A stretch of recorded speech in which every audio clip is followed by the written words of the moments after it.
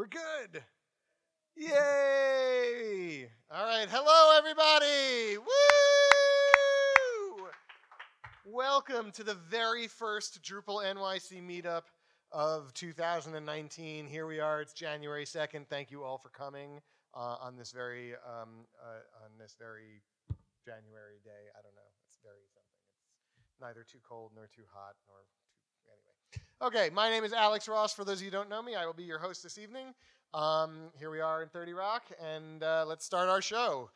Okay, some quick housekeeping. Please mute any devices that you've got. Um, if you have questions, uh, things are going to go a little different today, and we'll talk about that in a minute. But if you have questions, you want to participate in the conversations, please do your best to try and use the mics. Um, that's especially important because we are recording, and uh, we put these up on the YouTubes and various other places.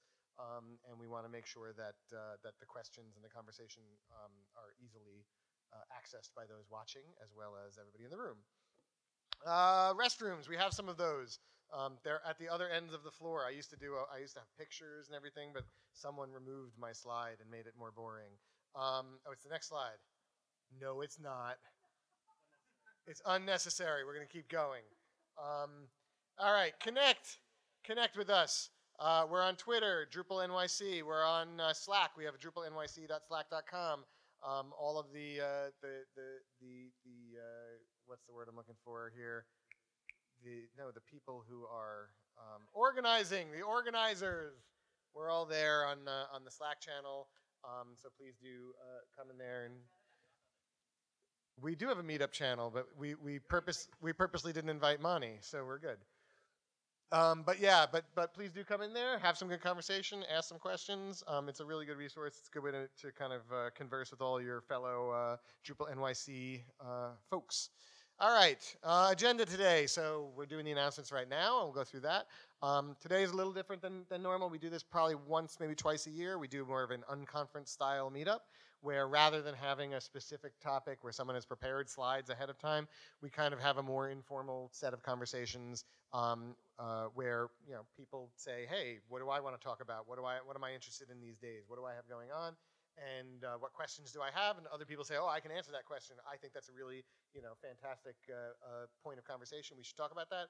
And we figure it out. So we'll spend a couple of minutes to, to decide what we're going to talk about in our unconference, unconference style. Um, uh, we'll do that shortly, and uh, and we'll see what what kind of topics we're going to go over today. Uh, and then uh, closing remarks, which is usually me saying, you know, get out of here. And um, and then there's an after party tonight, sponsored by Fastly at Bill's Bar and Burger downstairs. You enter on 51st Street. Um, so yeah, there we go. All right, today's topics unconference. So I already started talking about this a little bit. So if we're going to have some sticky notes, um, if you have a particular topic that you're very interested in either talking about or hearing about, um, please do uh, write that down on the sticky notes. We'll come around, we'll collect it, we'll do a little bit more, you know, figuring out how that's going to work. We'll we'll group them together and uh, and do some uh, some voting on on which topics we want to talk about, and then we'll, we're going to talk about it. So that's how it's going to work. Um, um our, our good pal John over here is, uh, is passing them out. They're stickies if you need a pen or something. The stickies are purple in honor of Barney for no reason. Um, my two year old is like super into Barney right now, but he can't say the R, so Bonnie, Bonnie. All right, uh, your Drupal organizers. Um, so these are your Drupal organizers. Uh, please do uh, take note. Uh, some of us are in the room today. Oh, I know. I'm going to talk about you in just a minute. Um, please do take note of the organizers in the room. We love to hear feedback from you folks. We'd love to hear what we could do better, what topics you'd love to hear about, all that good stuff. So if you see uh, if you see one of the organizers, uh, uh, come up and, and, say hi and uh, and let us know what's going on and what you're thinking in regards to this meetup. I will point out for those of you who don't know that this is Mani. This is his last Drupal NYC meetup. So we will be unceremoniously removing his face from this slide as quickly as we can. Um, and I'm a little, it's a little annoying because I finally learned how to both say and write his last name correctly. It took me, I've known you now for what, seven years, something like that.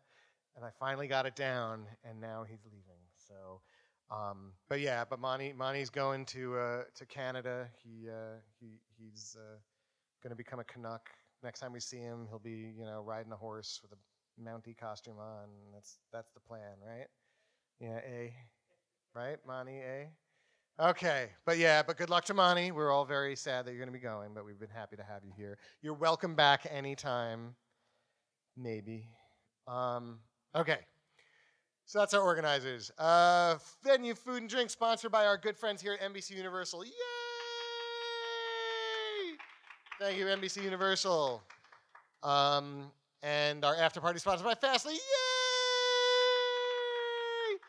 Sponsored by our good friends at Fastly. Um, all right, so uh, uh, thank you to both of those groups for for making sure that we have a good place to do this, and we have some uh, uh some beverages later. I, I think voting is going to go really easy on this one so far. Come on, no one has topics they want to talk about. All right, we'll get we'll get more in a minute. Start start start padding the padding the election here. Um, all right, photos and hashtags. We have uh, uh, a hashtag hashtag Drupal NYC, which we typically use. Uh, if you, yeah, what's going on? No, you don't need a laptop to present anything. You just talk. I mean, if you have something to present, then you present. We'll talk more about it in a minute. But if you have a topic that you'd like to talk about, whether you have a laptop or not, please, you know, be forthcoming. Let's hear it. Um, okay, if you take any photos, I saw someone, you, know, you were taking pictures over there. Please uh, uh, uh, share them with the hashtag Drupal NYC um, and and make your friends and neighbors jealous that they were not here. Um, uh, please support the Drupal Association. Our good friends at the Drupal Association make sure that the Drupal community is healthy. They make sure that we have Drupal.org. They, they help with, uh, with organizing conferences and camps and all that good stuff, making sure that the word gets around about Drupal and all the good stuff that it's doing. Um, it, it's possible to help support Drupal Association as an individual contributor. You could just, you know, kind of become a member. You can get your company to become a, a company supporter. Um, but it really does help the, the project as a whole, the community as a whole. So please, please, please um, do as you can to support the Drupal Association. All right. Join us on Slack. I heard that Slack's IPO is coming. Hmm, I don't know how I feel about that. I feel like they're waiting to introduce the feature where you can say, remind me on the first Wednesday of every month until their IPO hits as like their first killer new feature. Because right now you can just say remind me every Wednesday, and it's terrible. Okay, um, but we are on Slack, Drupal.nyc slash Slack. Please do join us there. Um, and uh, yeah, okay. Upcoming events, there are several of them. Uh, late January is the Drupal Global Contribution Weekend. Uh, there are lots of locations for this all over the country, all over the world. It's, it's, it's global. They probably have one in Canada. Um, and uh, uh, we do encourage you. It's a great way to kind of get involved with contributing to Drupal if you haven't done that before. Um, there are um, there are like kind of specific um, what's the word I'm looking for processes. No, that's the, the specific things that are set up for new people, right? The specific paths set up if you're new to contributing, um, and it's a great way to kind of get involved in that if you haven't done it before. If you have done it before, it's a great way to like hey, I haven't contributed anything in a while. I'll just spend the weekend. I'll spend an you know a day, an hour, a couple hours, and I'll I'll work on uh, on some part of the of the project or on some contrib module or something like that. So please do get involved there. First week of February, Drupal Camp and New, Drupal Camp New Jersey uh, at Princeton. Um, so uh, DrupalCampNJ.org. Um, they do a great job down in Jersey. So if you can make it down there, um, please do. Um, February 15th, Florida Drupal Camp. Um, fldrupal.camp. Uh, they're, they're ta- I, I, think that's the first time in real life I've seen someone use the .camp TLD, but there it is. Um, so uh, book your tickets now, right? It'll be nice and warm down there. Um, and uh, what's that? We should get DrupalNYC.camp. You're right. You should you should talk to someone about that. Yeah, that's probably the right someone. Yeah. There, see. Okay. Um, uh, in addition, and it's not up on the list, but it's coming up somewhat soon in April. Uh, DrupalCon North America, it's coming. Uh, this year it's in Seattle, Washington. Um, so uh, if you need to like plan your budget for the year, plan to go to Seattle. It's a little, little, little camp. You and 3,500 of your closest friends can uh, meet and, and do Drupal things in Seattle. Um, but there's always uh, the, the drupical.com site and then groups.drupal.org slash events always kind of talks about the different events that are going on. Okay. Uh, interested in speaking. So um, we're always interested in getting new speakers. We're always interested in new, topics. We're also interested in people who want to help organize, you know, one of these camps. Uh, someone suggested recently that we, we kind of have people who can, you can't dedicate, you know, every month, you're going to help organize one of the, um, uh, I'm not one of the camps, one of these uh, meetups. You can't dedicate, you know, your, your time to do that every month, maybe you could do it for one meetup or two meetups. Um, that would be extremely helpful in helping us kind of um, get the, sp- the speakers together, get the topics together, make sure that we have good content. So if you're interested, please do talk to one of the uh, organizers, and we will happily um, help figure that out. We don't have exactly all the details, you know, lined up in a row as to how we're going to do that, um, but we are positive that we could always use the help, and we would love to have people who are are um, are willing to help, you know, with one or two meetups, or if you want, if you're able to dedicate the time and, and, and do it for a while, that's great too. So please, you know, talk to the organizers. All right. Who's hiring? That's my five-year-old, but now he's six years old, so I need to change the picture. Um, who's hiring? Mr. Fisher. Uh, I work for uh, Taoti, which is a Drupal or just general digital agency based out of Washington D.C. And our entire developer department works remotely. So if you're uh, either a full stack or a back end dev, either one of those, we need them badly. We're looking for like a lot of devs in a short amount of time because we have a lot of work coming. So if you're looking to work remotely, talk to me. There we go. Anybody else want to make a quick pitch? Go once, twice. Hi, I'm John. Most of you know me. I'm launching DevShop Cloud and DevShop support and looking for co-founders, non-technical co-founders, investors, super friendly Drupal experts. That's uh that's everything. Yeah. That's a pretty broad. Yeah, that's that's fairly broad. Yes, one non-technical Drupal expert with a lot of money to invest. Anyone, anyone. I'm looking at you, Neil. All right, no, okay. Um, excuse me, my voice is going. A non-technical Drupal expert. Yeah. I just thought of a mean joke, but I'm not gonna say because it's mean. Okay. Uh, introduce introductions. Introduce yourself. Introductions. Um, take a few minutes. Introduce yourself to somebody who's sitting near you who you don't know. And everybody come up with another topic they'd like to talk about. And freeze. So hopefully I did that at the exact moment you were at the best part of the conversation you were just having, so that you will try to continue said conversation later at drinks at Bill's Bar. Okay. Uh, next meetup. We are going to have the next meetup at, uh, at right here in this room on Wednesday, February sixth, um, in uh, in in at the same bat channel, same bat time, same bat station. Um, so mark your calendars. Tell your friends. Everybody's job is to bring three friends with them to the meetup next week or next month. All right. Um, call for speakers and organizers and members. Yeah, uh, I kind of mentioned this already, but we would love to hear from more people. Um, we'd love feedback. We'd love more speakers. We'd love to hear what people would like, like to, to talk about and, and, and hear and, and have in these meetups. So please, please, please uh, come let us know. Go on Slack, talk to the organizers, go to Drupal NYC slash suggest, and let us know what's what. Um, I think now we're at the, yeah, that, that'll, we'll, we'll come back to this slide after we do this. Or is there a slide for this? Is there a slide for this? Hold on. No, there isn't one. Yeah, we just took it out. Oh, I went. I went. This is the last slide. This is the last slide. Oh, well then I skipped it. Did I skip the slide? Anyway, okay. Any Who's hiring? ideas? Interested in speaking? Upcoming events? It doesn't matter what's on the screen. It really doesn't. But I'm going to keep doing this until I get an appropriate slide. There we go. Here's all the ideas. Open source sustainability. Uh, I'm going to read through them first and then we'll vote. That's only fair. Future of Drupal. What does NYPL do with Drupal? Holing will speak on. Launch Drupal servers with Drupal. I can talk about accessibility, tools, or content management. Introduction to Golang, and how do you host 6,000 Drupals, Mani? Okay. How many we have? That's a lot.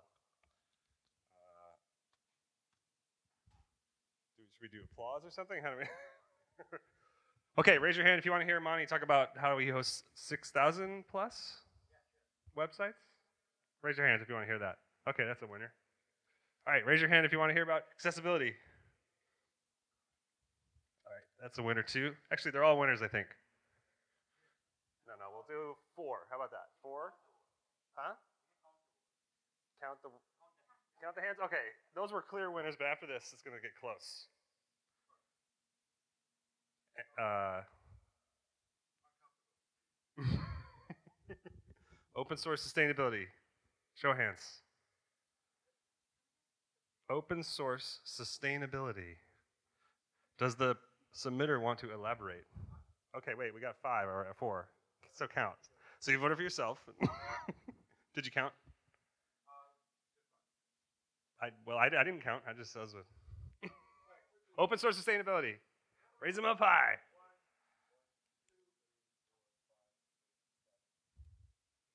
Whoa, eight.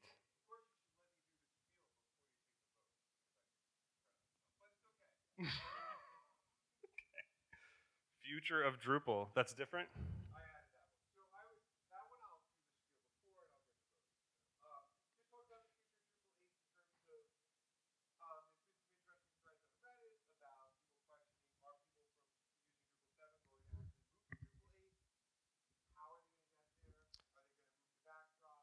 Show of hands.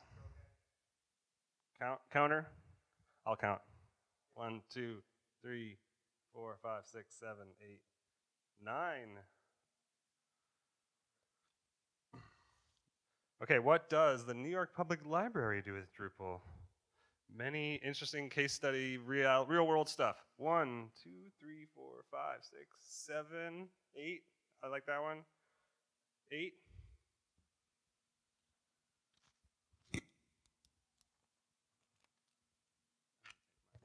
Introduction to Golang. One, two, three, four. Good for you, Golang. Hanging in there.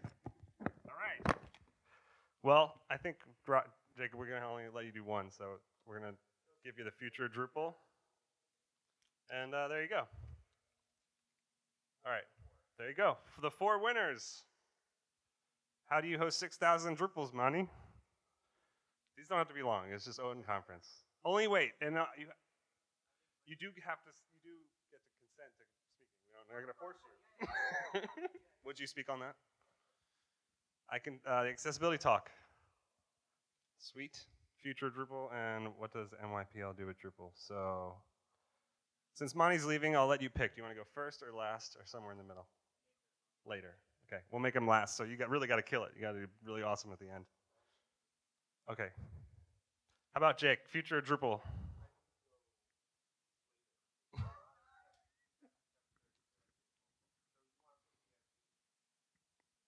We're going to go through them, and we don't know how long they're going to be, so we're just going to go for it. How about Holing? Will you start us off, Holing? Ladies and gentlemen, Holing from the New York Public Library. Do you want a computer? Plug in.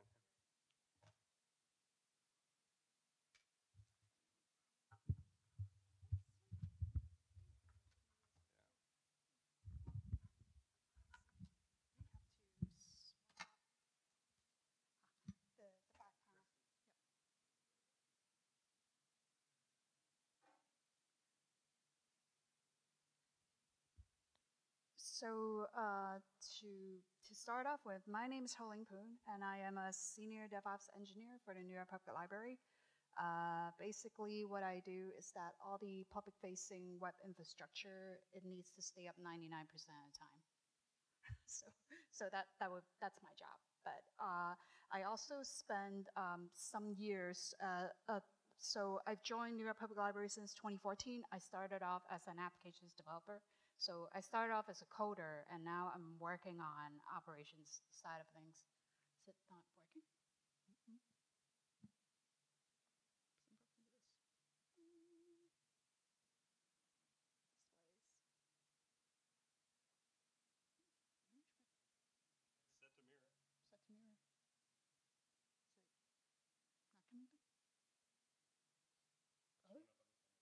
Mm, That is still pointing back to the other. Okay. And mirror displays should come through. Uh, okay. 720p.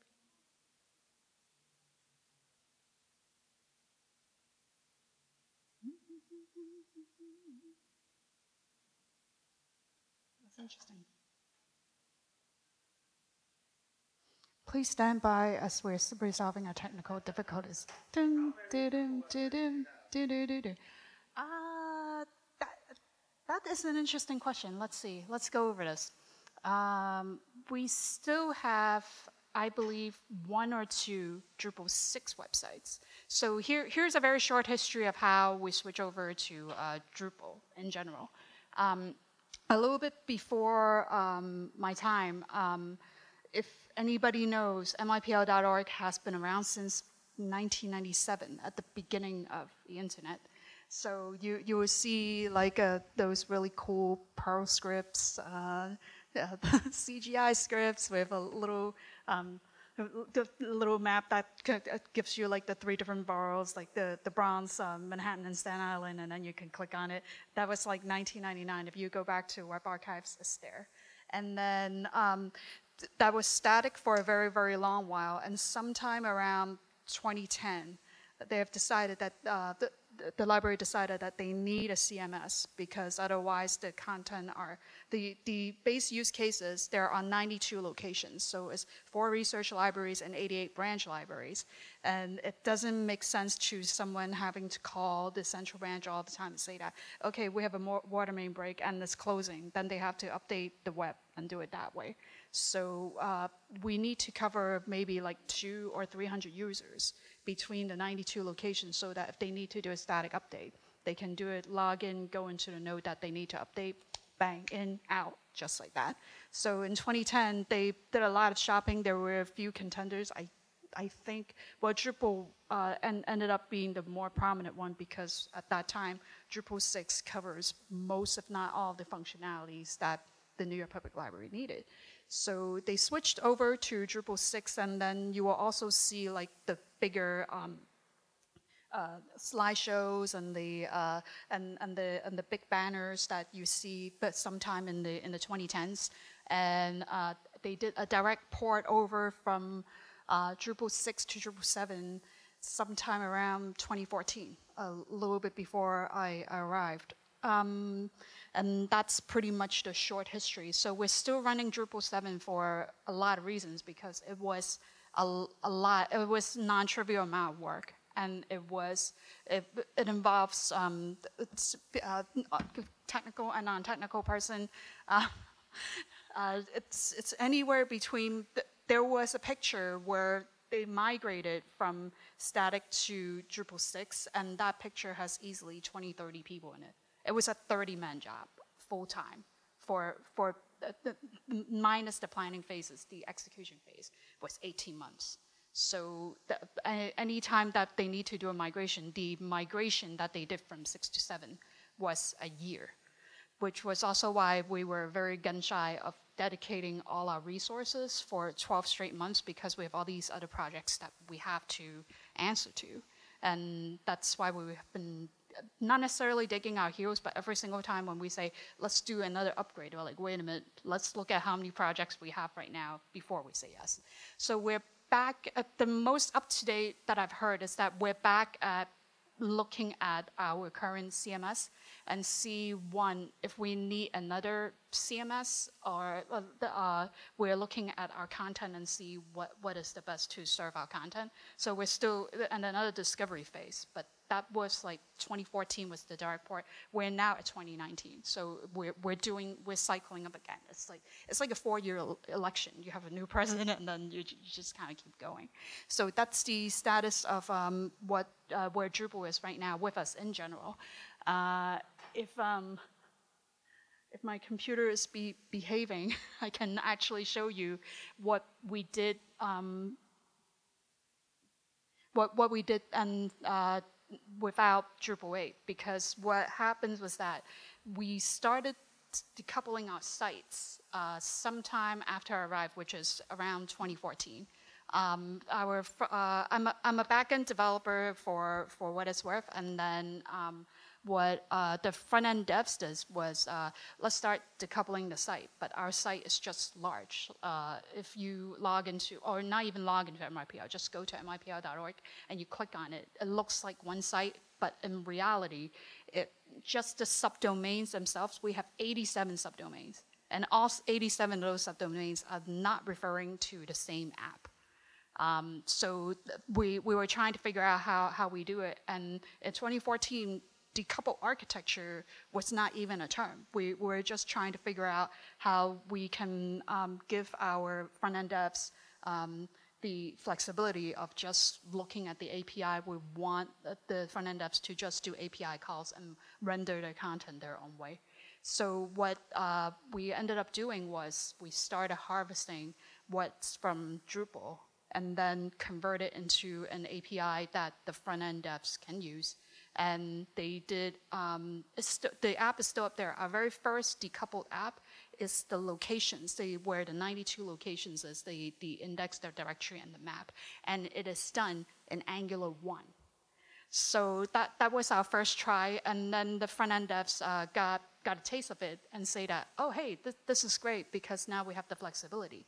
So what we did piecemeal at that point was then React came along and uh, the front-end devs were go going through it and say that maybe React will work a little bit better for us. And then we have another series of uh, different applications that got decoupled.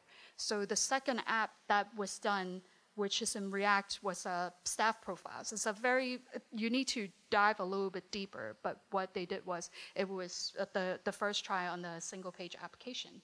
And that kind of worked. And they, they love React. So what uh, we ended up doing was that uh, it was still in Drupal 7. Drupal 8 has like a vast um, API support, especially now, even though in, in the first phase it was just a RESTful layer, but it was kind of not working for us because we have a lot of Drupal specific data when it's done on the, on the API. And what uh, uh, the brilliant uh, Kevin Freeman did was let's write a middle tier. So there's a PHP app, and we call it the refinery. It's just spewing out JSON.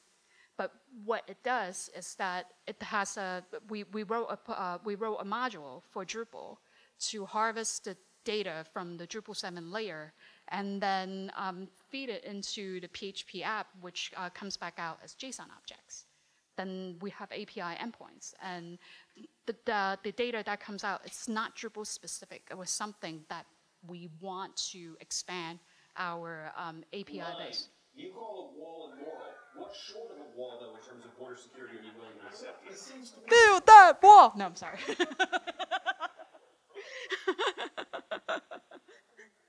that, that's going to be on YouTube forever. Okay. Um, so so um, we create a middle tier without Drupal 8, and it was um, oh hey no that's not it. Sorry. Make you look. Um, so uh, so what what we ended up doing was we continue harvest all all the all the different data objects that we see in um, Drupal 7 and um, uh, and that was pretty much it. Then there are uh, a series of other uh, de decoupled applications that doesn't read from Drupal because we have a very vast catalog. So uh, we also have new arrivals. We also have sorry. We we also have like uh, best books, where or also known as staff picks, where the staff gets to pick by season. Like we, we, we go out there four times a year and ask all our librarians what's good out there to read. And that uh, also like once we start decoupling things, we thought about like how, how many data sources we can read from. It, um, and we also like, we read it from spreadsheets, we read it from other data sources. We also have like even more ambitious projects where there's this particular project called Recap, and what Recap does is that we're, uh, we are out in New Jersey and there's this warehouse that we share with uh, Princeton and Columbia. And there are these rare books, like really rare first edition books that people can still check out and read in the research library branches, but it's out in New Jersey. And they have a state of the art robotic arm like this. and what, what we did was we have to write our own interface to access that catalog. And that turned out to be another React app uh, we call uh, uh, share, uh, share Collections Catalog. So uh, that's, sorry to go off on a tangent, but I'm just saying that we don't only just do Drupal. We, we do a lot of, we, we're go, going forward with a lot of the, couple architecture. Um, where are we with Drupal 8? Um, we have people that try to uh, pitch as hard as we can with Drupal and that um, exploratory committee to figure out that like should we upgrade to Drupal 8 versus uh, picking another CMS or do we write our own? So that's where we're at. Uh, I was hoping I can show you some really cool things of like how uh, the, the, things travel from hitting the save button in Drupal in the content editing, feeds it into a refinery, and then goes back out to React. But uh, we'll come out some other time. This is like my first try for this talk. If anybody is interested and would like me to elaborate, I'll figure out how to write a talk. So thank you.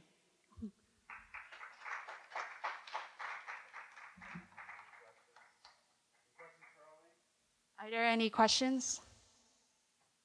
Oh, sorry. Hang on. Hang on for the mic. No, actually, we we are going to record it on YouTube, so please. This is more informational. Um, why do people want to read first editions? Why can't they read the microfiche? Um, uh, not, um, I can only speak for this one library called the New York Public Library. we've, we've been trying as hard as we can to digitize all of the rare finds, and there's a separate uh, application called digitalcollections.nypl.org. Uh, it's not a Drupal app, it's a Ruby app. Uh, our, our stack is fast, but there are times where we don't digitize fast enough. The, uh, we, we already have like a, there's a dedicated team. We have seven or eight photographers uh, in charge of like different document cameras, but we're still not digitizing fast enough. We, we try to do maybe, uh, depending on how big the collection is, anywhere from 15 if they're like really large co collections, or maybe hundreds of them in a year but they're they're all planned out, and we're trying to push as hard as we can. So there you go. If you ever held a rare first edition hands, you wouldn't know. You wouldn't have to ask that question. And something about holding that book. It's 100, 150 years old, and it's just made differently and smells differently, and it's and they usually have ornate um, drawings and illustrations in them. I mean, books used to be a, a production once upon a time. Know, I just want you guys to know you can still get the, uh, well, not getting your hands onto it, but you can see the uh, first edition of Mary Poppins. There, uh, there, there, was a, there was a video from CBS talk, talking about it uh, with their interview with uh, Emily, Emily Blunt. They actually went there and uh, saw these like rare fine objects on 42nd Street. So.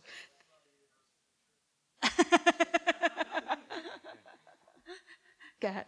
Uh, I've got a question about uh, the 87 websites uh, applications that the NYPL has. Yes. Uh, that correlates pretty closely to the branch libraries. Did branch libraries have their own websites, or is that all centralized and it's just like? Right now, they're centralized at uh, locations The 87 subdomains is actually not necessarily from all the locations. We have, uh, we, uh, I'll give you a good example. Uh, Schomburg for uh, African American Studies, which is located in Harlem, they, they do have like a good good amount of donors. Like uh, the, uh, we we have a bunch of sites that are still in um, Flash, but that's because we were, oh, here we go. Uh, uh, we, we were very short staffed for, for a while. So that was outsourced and it's still out there. We, but all the content are important. We're not taking any of them down. So that kind of leads to like, it's going to be a completely separate talk of like what, what are the challenges that we have facing. Because uh, a lot of these contents, we have no intention of taking them down. The only reason why that they may be down is because um, uh, we, we have like technical limitations, but we're, we're still trying to sit down and figure out how, what are we going to do with old content because just because the content is no, uh, old, it doesn't mean that it's uh, irrelevant. So we're, we're trying to revamp a lot of those sites. So yeah. Any other questions?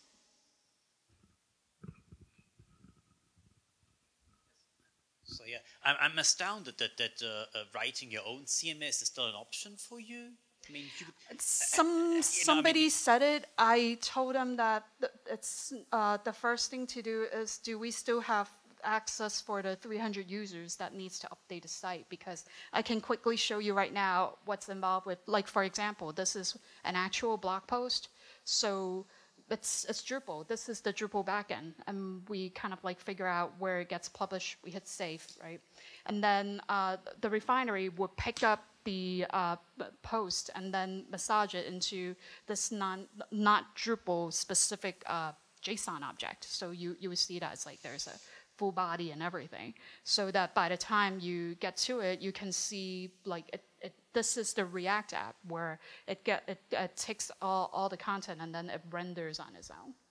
So, whoop, technical difficulties. But uh, here is the yeah that that's basically then it turns out then it, it renders into this. So that that was my really short demo of of uh, decouple sites. So, any other questions? Thank you. Uh, so you had said in like 2010, I think it was, that you made the move to Drupal. Um, Yes. is what were you using before, or what was NYPL using before that for the catalog system?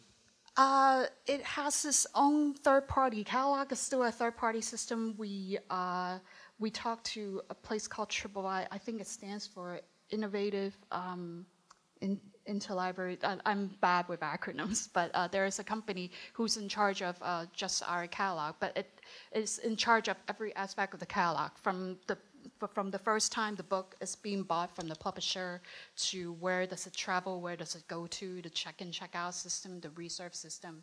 Uh, it's been it's been outsourced to this uh, third party since um, maybe the early 2000s. But before that, back in the 90s, the library actually had their own catalog system. There were seven or eight coders just dedicated to cataloging. Wow. Yeah. So like today, when they scan the books, when people check them in, does that automatically connect right to the catalog system, the Drupal site, or is it like an Um, intermediary layer? There is an intermediary layer between Drupal and the actual catalog system. So uh, the, the catalog system has, has its own complete full um, database and everything. It's, it's called the ILS, it's called the Interlibrary Systems. Um, lots of libraries use it. It's not just us. I think NYU uses it, um, just to name a few. Um, that, that uh, and then we harvest data from that API, which pretty much uh, is what, um, how should I describe this? Let's see.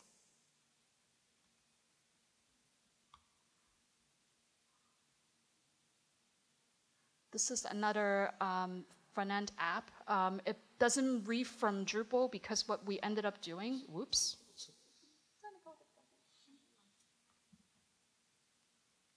Let's see if this comes back up. Oh, oh here we go. So uh, this is from the catalog. There is the the new arrivals are a little bit shy. We'll have you back for a full presentation Yes. on this, yeah? Yeah, I'll come back with a full presentation. But thank you. Real quick, it's up again. Thank you, Holing. Okay. Uh, Jake's not here, so I guess the accessibility. No, we no, neither did we. No, no one here prepared. uh, yeah, just talk about what you do or whatever. Just yeah. Okay, I've also never presented before, so if I end up back here in a fetal position crying, that's why. No, We'll pick we'll pick you up again. just roll So- me out. It'll be okay. Okay, accessibility. I work at the UN. My name is Kim. And I'm actually not going to discuss some of the stuff we do at the UN because a lot of it is not very accessible. Um, and the reason I got into really into accessibility is I feel there's a lot of doors that have been opened just because people made slight accommodations for me. And I know you don't really notice it, but you know, I'm slightly hearing impaired, and people know to speak facing me and to speak slower. I speak four different languages. People know to speak to me simply in those languages, or I will not understand a word. But there are so many things that you go through every single day where people accommodate what you're doing. And I like just being inclusive. I like that other people have assisted me. I also feel like with accessibility, there are tons of things that make it a great website once it becomes more accessible. For example, like if you are looking at a video and you want to look at it on the subway and you don't have your headphones, everybody uses subtitles all the time now. And this is something that was developed for hearing impaired people. Slightly inebriated me, when I want to go order some more wine, really appreciates when a website has been made very simple for somebody who has some sort of learning disability or shakes a little bit and can't access a website, you know, easily.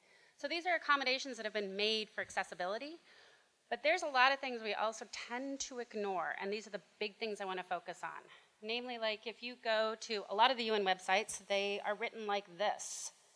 It is in the Resolution 72 249 of 24 December 2017. The GA decided to convene an intergovernmental conference under the auspices of the United Nations. It's hard to understand, it's impossible to translate. Anybody with learning disability coming onto these websites, actually, a learning disability would probably have to have it translated for them. But this is also super common that a lot of these websites are written in a very convoluted manner. The UN loves to use the passive tense. It is passing of a law or something like that. And so a lot of what we see is actually written for people who have absolutely no learning disabilities, that speak English flawlessly, that don't need this translated. Um, so I can talk about tools sometimes for, you know, how we, uh, um, actually, let me plug in this one thing. Oh, sorry, this is not even going in here. Sorry, I turned it on. Not the right one? That's okay. Um, I think it's okay. It's an error, so it has like the older ones on. It's okay. um, but so the other thing with accessibility too is I think people always think it's sort of icing on the cake that you're, you know, programming for the majority of people and you don't want to think of these, you know, one or two little offshoots that you have to develop for. But that's actually now sort of not the case. In fact, they've decided that more than 50% of people at some point will need some accommodations online. And so it could just be like a scalable font or it could be that, you know, you can't use one of your arms and you need to like jump through it. We also have now by 2050, the population that is considered elderly is supposed to as much as triple. So these are people that will need reading glasses and everything else, just making the site accessible to them. And of course, you know, now we use mobile phones and everything else much more, so there's a lot of that. Um, but the stats for this are pretty crazy too. Just the amount of ADA Title III federal lawsuits from 2017 to 18 has um, is increased 30 percent. So 30 percent more lawsuits, um, just because these sites and everything are not accessible. But so it really is something now that goes beyond like using a reader or blindness or color contrast, or those, those are issues as well. Um, but we now have in the US, 8.2% of people have issues lifting or grasping or a tremor where they can't use a mouse. 6.3 have cognitive, mental, or emotional impairment.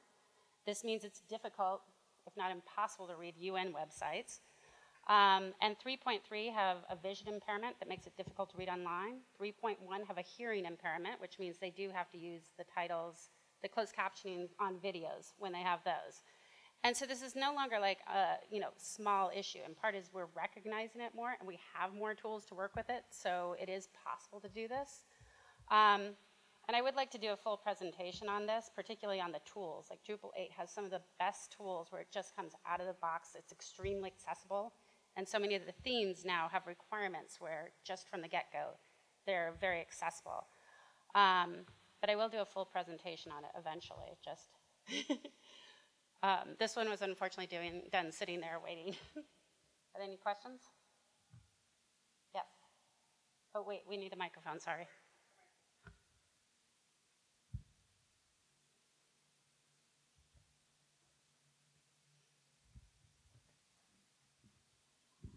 I'm just curious, is there with Drupal 8 like uh, some kind of a compliance testing tool where you can just run it, run the site through a thing and it tells you like if it complies with one of the major tests? Yeah, there's a lot of different tools they have. In fact, they have one where you can actually test your content for how accessible it is. So there's, um, and I can't remember the name of the module offhand, but it will look at the content in a text box, and there's an accessibility thing that will tell you you need an alt tag on this image that has been added. It will tell you if your um, table is structured correctly. Um, and I'll get you the name of that while when the next presentation is going on. But there's a lot of other accessibility features too that are really great in Drupal 8, and it's much more extensive than um, in 7. And there's also just a lot of web tools that where you can run that page through um, a website to see if it's accessible.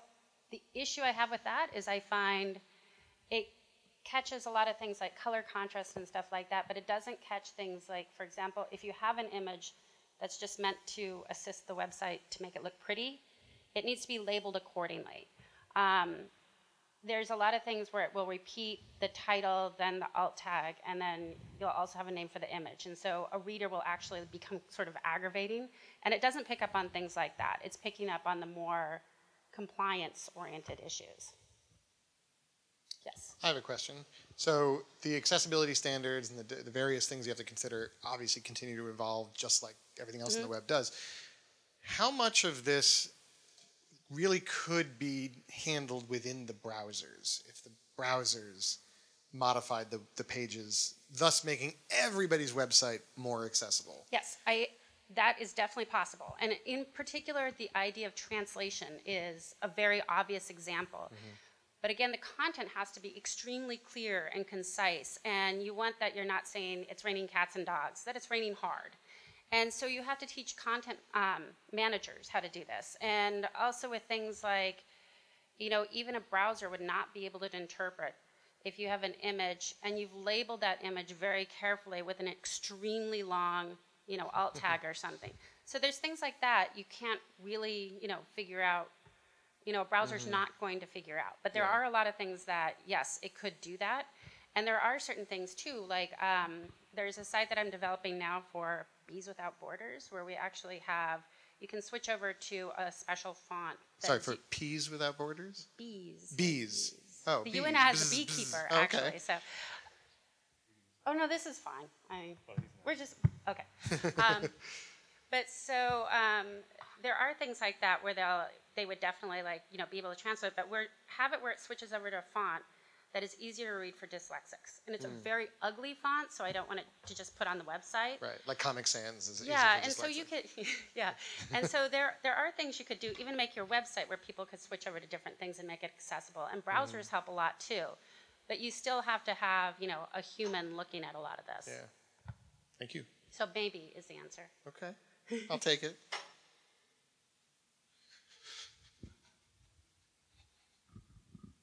Thank you very much.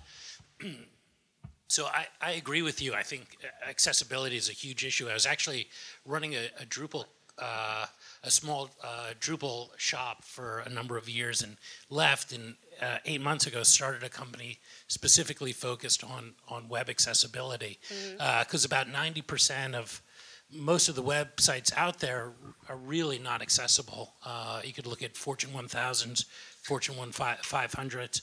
Most of their sites are sort of built uh, completely inaccessible. Um, and we're actually building some automated tools. So if there's anybody interested, we're sort of fine tuning our algorithm. So we're looking for uh, beta prospects. So if anybody's out there and would like free audits or uh, free help with accessibility, we're, we're certainly looking for uh, some customers to uh, uh, help us hone, hone uh, our ability. but generally speaking, I think you're right. Um, uh, you know, browsers can do some things, but if an image has no alt text and there's really no AI around that, you know, it's up to content editors as well as programmers. It's one of the unique things about a, a website where um, content editors and developers really need to work together. So yes. if a button, you know, doesn't have the right alt text around it and it's just labeled as button, you know, a screen reader will just read that as button. It would be no different than, you know, going into an elevator and reading the elevator, you know, Exactly, braille yeah. and would say, you know, button rather than the floor that you want to go to. And you can actually, on a Mac, it is that sort of like looping thing. If you press that plus F5, um, it'll show you how screen readers read your website. And on some of them, it's just, it's horrible. It's so, to me, it's completely irritating to listen to it, and particularly if you have information that's repeating on something. And also, um, Google now ranks your website higher if it's very accessible. And so I was working on um, the website for a glass blowing company, which I can't imagine a lot of blind people are going in there and using it, but you never know. And we made it much more accessible, and it did increase their their Google ranking. And so it's something where, of course, they're going through and just like looking at it like a robot would. They're not having people read out all the information. And so, I mean, that's also a big advantage too, is you can get better SEO ratings from complying with that. More questions? All right. Thank you very much. Woo.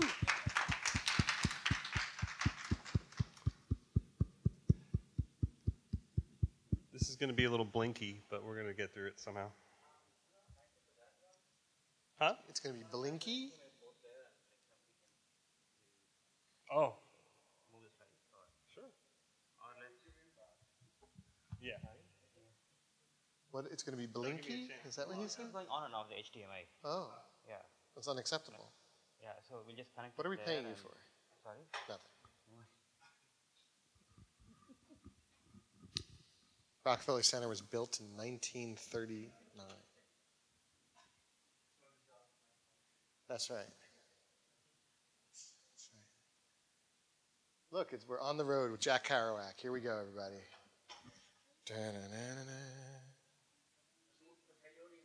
Yeah. That's not a, a that, that's Warner Brothers. Slow down.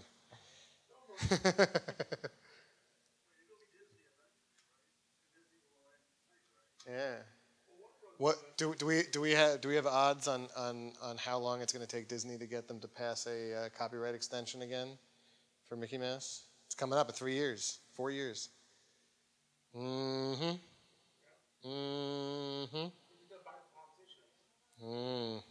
It's gonna be an interesting one. No, but there was recently in, in in 2019 is the first time new things came into the public domain in the United States in about 20 years, because the last extension that they did created this weird window of nothing coming into the public domain for 20 years or 10 years, something a long period of time. And this is the first year since they did that that things have caught up. So, all right, we're good. We're good. All right, Docker, Dockerizing Drupal, Mani, ladies and gentlemen. All right. Uh, this is a really old presentation I made in 2014. Uh, I presented at NYCCamp and I have not updated this. I apologize for that. So uh, a lot of is going to be winging it. And it's not 1,000 sites. We have like 6,000 plus now. Um, so my name is Mani Soundarajan. Um, I'm a technical architect at Cinderwit. And um I'm going to go into sort of the um, how we did the architecture to do thousands of Drupal websites. Um, so before we get into this, they're all the same code base, very, very similar websites um, that are very templatized and like a customer can change a few things. So it's not like 6,000 different projects. Don't look at it as a project. It's more like a SaaS product. And the way we deliver the SaaS product is every customer gets a Drupal site. And then we had like a, a dashboard where they can control things and also built in Drupal. So think of it like a SaaS product and a really easy way to do a minimum viable version built on Drupal. Right? So like a customer signs up, we spin up a new Drupal site, and then that's their environment. Uh, gives you complete isolation. Maybe not the best way to achieve your SaaS product, but for MVP, it really worked well. Uh, we were able to scale up to 6,000 customers. Now we are re-architecting, but we got to a really good place. 6,000 customers, not bad uh, to run on this architecture. Um, so they're really old and uh, probably a lot of you already know about Docker. I can skip over some of these slides. So should, should we go into Docker at all or?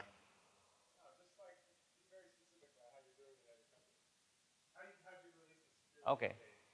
All right, okay, yeah. So um, how much time do we have? Okay, so, okay, how many of you don't know about Docker? Oh yeah, okay. All right, okay. So, um, so Docker is uh, a container system, right? So as compared to, you would uh, contrast that to a virtual machine um, in the cloud.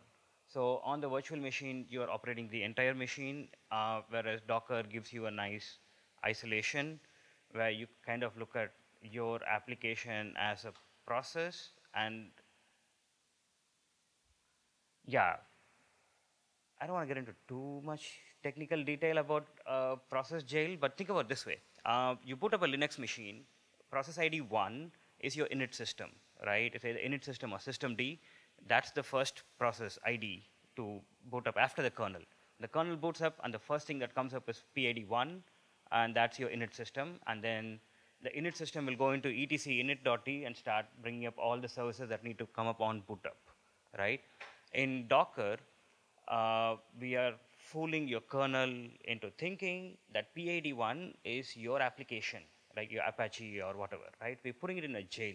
So if you go into your host virtual machine and did ps aux, you would see this as process number 4921. But inside the container, the same process ID is mapped as PID1. So you kind of put a nice jail around the application, and you have good isolation now. You can't have things getting out of that box and talking to other things. So does that make sense? All right, okay, good. So in terms of resource sharing and noisy neighbor, um, has anyone uh, run Drupal in multi-site configuration, where you basically um, have one Drupal instance, and then in sites folder you have a.com and b.com, right? Both of them running off of the same Apache, uh, right? And then you just have different, Drupal is going to look at the URL and decide which sites folder is going to go into and serve the website, right? So in this, you can end up with what is called as a noisy neighbor problem. If a.com gets a lot of traffic, that's going to take up all your Apache's resources. In that, b.com will now slow down, right? It's, it's just affected because they happen to share the same resources. In, Drupal, in, in Docker, you won't have this problem because they're both running in two different Docker containers. And at the Docker system level, you can define what are called shares. You can allocate memory shares and CPU shares and the ways to throttle network and give allocated resources. So um, if, if A.com has a lot of web uh, traffic, uh, it might be slow for them, but B.com customers are still happy and, and they continue to see their pages in, in an acceptable time, right? So this, this is one of the main advantages of Docker, isolation. Uh, the other advantage I would say is uh, the way you ship, uh, package and ship applications, right? Contrast that to a virtual machine. Uh, a very crude way of looking at it is go into the virtual machine and do uh, git pull origin master, right? Like very crude, but yeah, it works, right? So contrast that to uh, Docker, where uh, you take your entire application and the application stack, put it into what is called a Docker image, right? And then now you ship this Docker image, and anyone who wants to run it can run it. Everything that needs to be run is inside that image. That includes your Apache, your PHP, your application, uh, Drupal, all the necessary you know uh, things that go with it. it is nicely packaged into one thing. Um, so I think the main innovation really is in the way Docker helps you ship applications. So here's some comparison between virtual machine and Docker. Uh, the main difference here being the hypervisor layer, right? So you have the virtual machine, um, you have the host, host system, the hypervisor, and then you have various uh, guest operating systems on that, right? Typically, you don't run the host operating system. Um, Amazon runs it. Uh, you only get like one guest uh, or two or three, depending upon how much you bought from Amazon or AWS. Um, in contrast, uh, Docker, you don't use a hypervisor, you use a Docker engine, uh, which is built on top of a Linux kernel feature called cgroups, which lets you do this process isolation, right? It's just basically fooling your process into thinking it is PID1, and so it can't talk to anybody else, puts you in a nice jail. Um, so, and then you have your own uh, sort of Linux inside your container. It's not really Linux. It's just fooling it into thinking it's a Linux. Uh, but it's all like running on the same kernel underneath. Um, so um, how do you go about building a Docker image? This is one of the things you need to uh, get right early on um, if you want to do thousands of uh, Drupal sites, or even if you want to host your one Drupal site on Docker, right? You'll need a Docker file. Uh, so uh, that's a very simple syntax. Uh, it's its own um, language, the Docker file syntax. Um, let's look at an example. You would start with a from image, right? So Docker images are built in layers, right? So you don't want to start with layer zero. You just want to start with something that's already built and it's a good configuration and it's popular and being used by a lot of people. You want to use that as your starting point and then you build on top of that. Um, that's the first statement. So we are using the official PHP and this is old, right? 5.6, don't use 5.6, please. Use 7.0 or 7.2 right? 7.2. All right, okay, yeah, don't use 5.6. This is a very old presentation. Um, start with PHP um, 7.x, right? Um, and then on top of that, you want to run this command. Um, we're enabling the rewrite module because Drupal needs that for clean URLs. Um, and then you want to do apt-get update a whole bunch of packages that you need for Drupal to work uh, for Apache Drupal stack to work. So it's just like things like unzip and so on, right? MySQL client, you, are going to need all of these things. Um, so every statement in this file is going to create a layer in your Docker image. So you started with PHP, uh, and then on top of that, the next layer was, uh, let me go back. The next layer enabled um, the rewrite module, right? So think of it as every layer is like you run this command on this um, Linux machine, you take a snapshot of the hard disk, you look at the difference between what happened before and now, and only the difference you store as a layer, right? So it's just like snapshots of the file system and changes that happened over time. So we took a snapshot at the end of this statement, and we did this apt-get update, apt-get install this 100 packages, and then you do a snapshot, you get like a thousand more new files. That becomes a new layer and you keep adding to that, right? You install Composer, and using Composer, you install Drush, and then you want to use uh, Drush make to go get all your Drupal modules that you want, right? Now, this is all built on Drupal 7. Um, you would probably do it in Drupal 8, then you would use Composer for everything. But the concept is the same. Uh, you want to bootstrap your whole Linux, like, you know, you start with PHP, install Composer, and then use Composer to get, go get all your packages, right? Um, somewhere you need to take your application source code and put it into the container. That's the first statement here. Copy everything in the current folder to var www, right? So you moved everything into your container. Now you're using Composer to install all the dependencies. Um, the last statement here is like um, very specific to our company. We don't like to call it var www HTML. We like to call it var www docroot and then we're just creating a symbolic link from HTML to docroot. Um, that's just how our Git repo is set up. Yeah. Um, so the Drush make file, uh, not going to touch on it. Drupal 8 does it in a different way using Composer JSON. Uh, not important. Uh, here's where things get interesting, right? So what, now you, you have a Docker uh, image that has our application, the Drupal site that we built with our custom modules and profile and everything. Um, that's a Docker image, right? Now, we need to reuse that for 6,000 customers, right? How we're going to do that is by what is called injecting environment variables, right? You don't want to put your MySQL password inside your container. Or for that matter, you don't want to put any credentials inside your container, right? uh, it's not secure. You want to in inject it at runtime using environment variables. So when the Docker container is being brought up, you would say, hey, here's an environment variable for MySQL password, for MySQL username, here's a MySQL host, and here's a database name, and so on. You want to inject these. So what we are doing here is hacking settings.php, and instead of, usually if you go into, like let's say a typical Drupal 7 site, you'll see the password right there in clear text, right? Uh, what we are doing here is uh, we are replacing it with this set of lines where we say get it from the environment, right? So your username, your password, your host, um, and your database name is going to come from outside at a runtime. And the person who built the Docker image doesn't care about that. They just know that oh, it's going it's going to be given to me at a later time, right? So when you build the image, you don't worry about that. Uh, you also get the base URL from outside because we are doing uh, a.example.com and b.example.com. Um, you want the cookie domain to be set because uh, you don't want a.com people to be logged into b.com.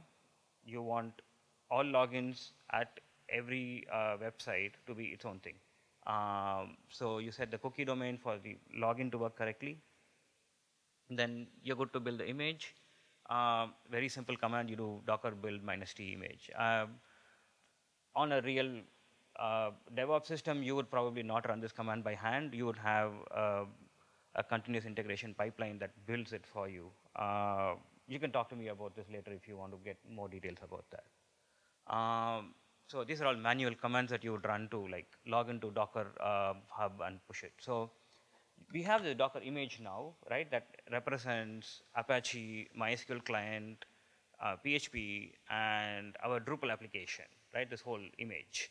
You got to go store it somewhere. So we all, like, I'm guessing, store uh, source code on GitHub. Uh, similarly, uh, a popular option to store Docker images is Docker Hub, right? You build the image and you go store in Docker Hub. Uh, there are some free plans and there are some paid plans. Um, you can look at it and uh, choose one. Um, there's a there's a competitor to Docker Hub called Quay.io. You can do that, or you can run your own Docker registry. It's a little bit complex, uh, but you can do it. Uh, it's it's the the source code is open for that. You can run your own Docker registry if you want it and lock it down to your company, um, so other people don't get access to your image. Docker Hub, if you pay them, they'll give you private images. So even that is locked down. Other people don't see your stuff. Um, so we have built a Docker image, we went and it on Docker Hub, and now we need to run thousands of these containers, right? Um, so we use uh, a system called Rancher. Um, has anyone heard of Kubernetes? All right, okay. So Rancher is, uh, Rancher 1.0 came out uh, four months before Kubernetes uh, came out. So it was an option available to us back then, and it was generally available, and it was uh, much, much more easy to get started with than Kubernetes. So if anyone is interested in starting a Kubernetes cluster today uh, for playing with, I would highly recommend you check out Rancher 2.0. It is built on top of Kubernetes. They've completely thrown out their cattle engine and replaced it with the Kubernetes engine. So it's just Kubernetes with a really beautiful user interface and an API layer on top. Uh, do check it out. Um, um, so Rancher is what is called as an orchestration system. So you're going to have these thousands of containers running on, let's say, 70, 80 machines, right? Uh, virtual machines. Uh, someone has to manage all of this. You can't go SSH into 80 machines and like bring up containers and shut down containers. It's just too much of a pain, right? So you leave it to Rancher to deal with it. So you have a Rancher master, and then you have a host under that, right? You, you have like how many ever hosts, 50, 60, 70, whatever. Um, so then you would just talk to the master and say, go do this, and then the master would find like, oh, looks like machine number 37 has extra disk space and CPU. Let me go put this container there, right? So that's not a manual decision. You're just leaving up to Rancher to do it, um, right? So it's uh, got catalogs built in. So it's like apart from your Drupal image, Rancher has a lot of cool things that you can just one-click launch. Uh, things like GlusterFS and Zookeeper and like a whole bunch of things now. The catalog has grown really large in the last uh, few years. And now that they're built on top of 2.0, uh, Kubernetes is 2.0 is built on top of Kubernetes. The whole catalog system they've reworked. Uh, it's now based on Helm charts. So if there's Helm chart out there, you could just take it and run it inside Rancher 2.0. Um, so we can skip over this. How to run your Rancher master. Uh, yeah, like you can look it up on the Rancher website. Um, okay, so let's just look at this. This is how you would add a stack and once add a service, mount a volume. Let me see if there's a good screenshot. No, there isn't. All right. So within Rancher, uh, they have these certain terminologies, a stack, a service, right? So uh, a stack would be a.com, and within that services would be Apache, MySQL, Memcache, and so on, right? That's for that stack, right? So you have all these services under that. Uh, this is how you add a stack.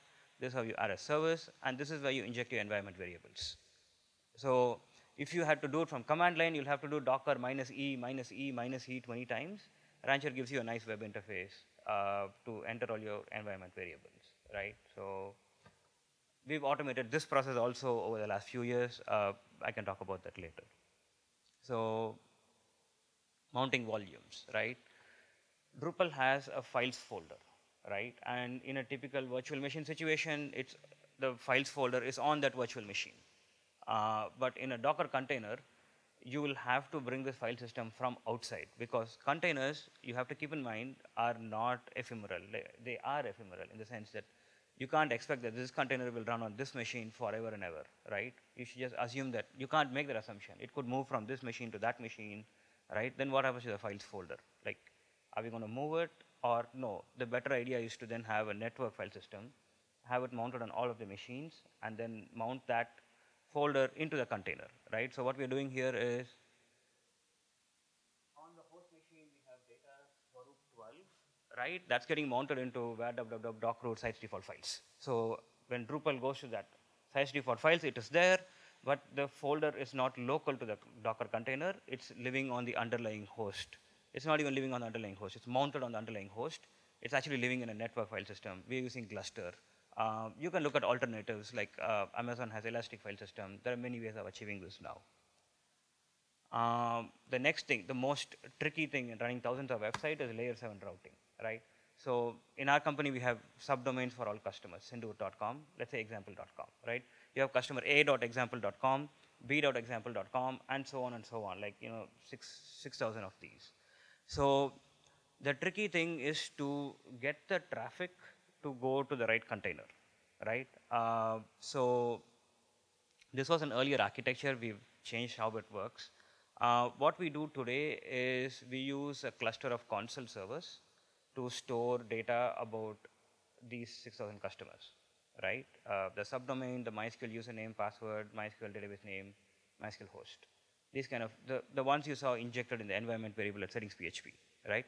This is stored in a Consul cluster and when the first hit comes in, uh, we have a front end uh, reverse proxy server built on Nginx and a bunch of Lua scripts. So what it does is it looks at what URL do you want to view, right? Let's say the browser has requested a.example.com. Then this Lua script is going to take that A and then go to Consul and say, hey, give me all the details about A, right? And this is done over a REST API call. Uh, and Consul gives back all the data. And from that, we'll know uh, in Rancher terms, what is the URL for that service? So let me go back a few steps. Um, I want to talk about Rancher service discovery. Right, okay. So we created a stack, right, called Swaroop 12. And then we added a service. Uh, we don't see a name here. Let's call it Drupal, right? Um, so that's a stack, that's a service. So Rancher makes it discoverable using a URL um, of the syntax service dot stack dot rancher dot internal. That's the domain name, right? So it would be Drupal dot a dot rancher dot internal for a dot example dot com, right? So what we do then is at the Nginx level, uh, go to Consul, get the information, and then send it to uh, proxy pass it to the rancher URL, right? So you're basically going now translating the URL a.example.com to um, a.example.rancher.internal. It's just think of it as a URL being rewritten, right, for internal traffic purposes. Now Rancher will be able to resolve that name to the correct container, and then you get your web page. And since you are reverse proxy, customers don't see it in the browser. They just see a.example.com on the browser, right? We are reverse proxying all of this. So then you, the reverse proxy would return the HTML page back to the browser. So a lot of this uh, is mostly, if you want to think about at a very big level of how do you run thousands of Drupal sites, it's getting your settings.php parameterized instead of hard coding. And second, handling challenges at layer seven, uh, routing your traffic, right? Um, yeah, okay, so this is what I was talking about. This is Rancher service discovery.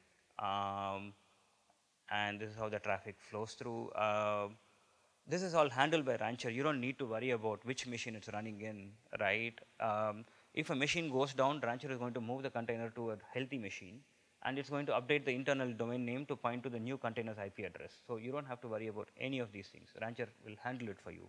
Um, and it's going to rewrite the URL too to point to the new container where it moved, right? So you get really uh, robust cluster. Like one machine goes down, no problem. Rancher is going to move the containers, rewrite the URLs to point to the new machine, new container, things are still up and running, right? You don't have to manually go in and hack things. Um, scalability, if you want to scale uh, on in a virtual machine situation, you'll have to use like um, elastic scaling where you boot up a whole virtual machine, right, and pay for it and so on. Um, you just click this plus button here in Rancher. It's going to bring up one more container, right? Uh, yeah, I don't have a screenshot for that. So you can run how many or containers you want for a particular service. Rancher will load balance that. So the first hit that comes in for a.example.com goes to container one. The second hit that comes in goes to container two. So it does a round robin, right? Uh, so you know, you, it's not like in terms of load balancing, you have all four containers equally distributed uh, with the load of the traffic that comes in, right? Very easy to scale, very easy to balance uh, compared to running a virtual machine and then like, oh, too much traffic, let's bring in one more virtual machine. And like, oh, now there's not enough traffic, let's shut down a machine. Like, you know, uh, yeah, you don't have to deal with it at machine level. It's much easier to do at container level. Uh, the next thing I want to talk about is how we upgrade services, right? We have 6,000 customers and we do uh, four to five releases a week. Uh, that's our Drupal application, right? Including Drupal security patches that come on Wednesdays. Um, security patches. How many of you are on the Drupal security list, uh, emailing list? Okay, if you're running Drupal in production, you should be on that email list, right? Look up, I think drupal.org slash security. Yeah, sign up for the newsletter. Um, typical release windows are Wednesday, 12 p.m. to 2 p.m. Eastern time. Uh, if there's a change, they announce it before. Also follow them on Twitter. I think it's at Drupal Security. Um, where's Neil? Neil, is that right? At Drupal Security? Yeah? Yeah, you can look it up on Twitter. Uh, there's also Drupal Infra. Uh, you can follow both of these on Twitter to stay up to date on what's coming. Uh, make sure your Drupal modules and your Drupal core is up to date in terms of security. Uh, we've had a lot of hacks in the past. We had a Drupal Geddon, Armageddon, Drupalgeddon, yeah. Uh, that was a big mess, right? So stay on top of this every Wednesday. Make sure your application, if, if there's a security release that came out that Wednesday, uh, make sure you're up to date. Um, so when you run in a virtual machine kind of situation, again, it's a little painful to upgrade, but when you move into Docker, things get so much easier to upgrade, right? Um, so the way Rancher does this is, uh, I'm just going to fast forward. Um, so you have a container running, let's say 1.3.12, right? And today you're releasing 1.3.13 of your particular application, right? You have a container that's running, it's going to start a new container, and then you have now two containers running, serving traffic. It's possible that some customers are getting old version, some customers are getting new version, and then it's going to shut down the old container, right? Rancher does this, uh, it's all one click, right? So it's very easy to do uh, in terms of upgrading, right? You just go in there and hit upgrade and put the new, uh, so when you build the Docker image, you would tag that as a version, right? Uh, you build the image and say this is 1.3.12 and this is 1.3.13 right? You just go tell Rancher that this is a new version I have, and it's going to do it in a seamless way that uh, doesn't drop that much traffic uh, in terms of people being served and so on, right? And it's a very very easy uh, thing to do for developers, right? It's once it's made easy to do, then you are motivated to do often, and so you know your security updates are done on time and promptly. So this is something we did internally to manage Rancher itself so Rancher is good if you're going to, the user, the web interface is good if you're going to manage like four, five, six applications, right? But at like 6,000 application, nobody has time to go into Rancher user interface. So Rancher has a nice um, HTTP REST API, and we built an application that calls Rancher API and does everything that I described. Um, so we do it at 6,000 level applications one click, and then our application goes and talks to Rancher 6,000 times and does the upgrade on that side. Uh, this is an internal uh, project we did. Um, so this was a very old architecture. We don't run thousands of containers. We used to run 5,000 containers. It's madness. Uh, we now run like seven, eight containers. Uh, we've done like a lot of cost optimization, and we are able to handle traffic uh, with seven to eight containers at peak. Uh, yeah, um, I can talk a little bit more about that um, offline if you want. So I think that's about it. Um, does anyone have any questions? Um, John, does we need a mic? We don't, we don't have John. Oh, there is John. Hang on, Eric. Is the microphone on? I think I'm on now. Um, how does it work with uh, hybrid infrastructure? If you have on-prem and um, and you have something on say AWS, um, how does it? How do how do you manage like IP tables and? and Uh, we don't. We are uh, 100% on the cloud, uh, but I don't see how it can't be done. Um, Consul, which is kind of the brains behind uh, how our layer 7 routing works, uh, has a multi-data data center architecture built into it. So you could have a Consul cluster in AWS and a Consul cluster on-prem and have them have the same encryption key so they can talk to each other, right? And so at Consul level, uh, when you ask for a.example.com, Consul is going to decide this is in this particular IP address or this particular rancher environment, right? So you'll have one rancher environment in AWS and one in on-prem.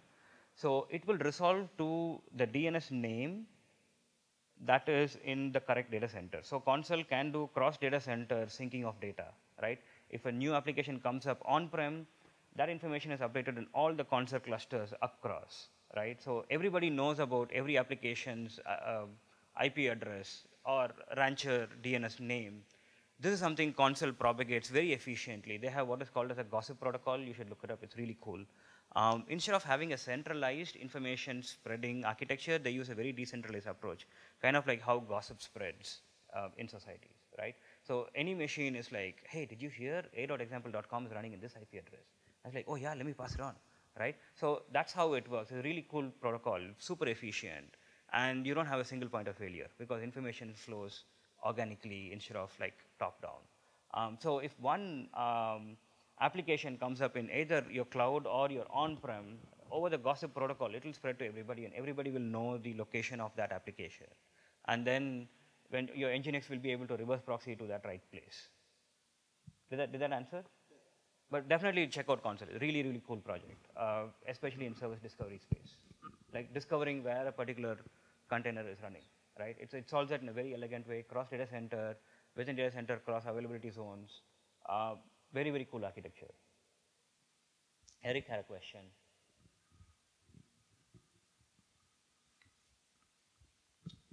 Uh, so you, you, went with Rancher 2.0. That, that was clear. What. We are running 1.6, but Oh, I I recommend that that's one- 1.6 is a competitor to Kubernetes in the sense they did their own orchestration engine called Cattle, right? Uh, think of it as a competitor to Kubernetes. Uh, this came out four months before Kubernetes came out. Uh, this is what we are running in production. But if anyone's starting out today, I would recommend just start with 2.0. That's built on Kubernetes. That's the direction you should be going in.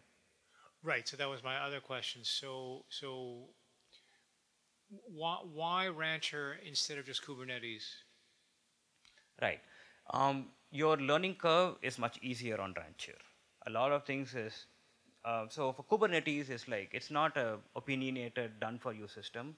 You still have to go figure out a lot of things yourself and like, oh, how am I going to do networking? Oh, how am I going to do this? How am I going to do that? Right? Whereas Rancher has all these parts figured out for you and, and it's opinionated in the sense you don't have to make choices. Um, it's all done for you and comes with a beautiful web interface. So you just go click, click, click, and like, oh yeah, let me link my Rancher to my Docker Hub credentials. Because you need to pull your private Docker images from somewhere, right? How are you going to set that up, right? So those kind of things are done for you in Rancher. It's like one click and you set up your link between Rancher and Docker Hub. One click and you set up a link between Rancher and AWS credentials. So if it wants to bring up more machines, it can bring it up itself based on traffic. You don't have to go like click anything, right? Right. So yeah, so the, the nice integrations done by Rancher for that, and there's a whole lot of things they have done for logging and so on. Yeah. Right, and, and Rancher is written in is, is open It's written in source and, Go. and it's, and it's written. So if you wanted a feature that it didn't contain, you would just add it. Mm, no, you would write it as a Docker container and run it as a Docker container. So Docker has uh, two ways of running. Uh, one is a regular mode, one is a privileged mode. In a privileged mode, your Docker container has access to the host operating system and can do things at the host level, right?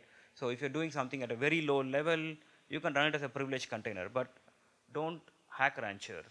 Write services on Rancher that achieve your purpose and write them as Docker containers and deploy them, Hmm. right? Uh, that's what I would uh, do, right? So one of the things we do is we run out of disk space a lot uh, because we keep pulling images and we're doing five releases a week and like, you know, we have this Drupal and in our case 1.3.10, 11, 12, 13, 14, 15, each of them is 700 MB, um, 800 MB images, right? We can start cleaning out these old images that we don't use anymore, right? So that's a, that's a nice service uh, somebody's written. Um, it's called Janitor. I think Rancher only wrote it, I'm not sure. But that runs as a container, a privileged container on the host, right? So it's a container but with administrative privileges. So it goes into the host machine, looks at the disk space and sees, oh yeah, these are old images, nobody's using them. Let me delete these images and free up some disk space, right? So you want to extend, extend it on top, not below, Mhm. right? Run a service on top of Rancher, right? Good. Yeah. Good, great, thanks. Um, that was another question.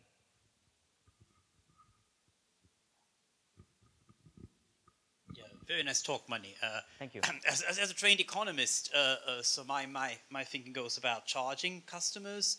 So, I mean, you not only need to distribute the, the, the resources, but you also need to, to, to, to keep track of who is using what so that the, the customer who pays, the user more actually pays more. Is that the case? What we you're a? SaaS product. We just have a flat fee, and we kind of like so you can think of it as where some customers cross subsidize some customers, right?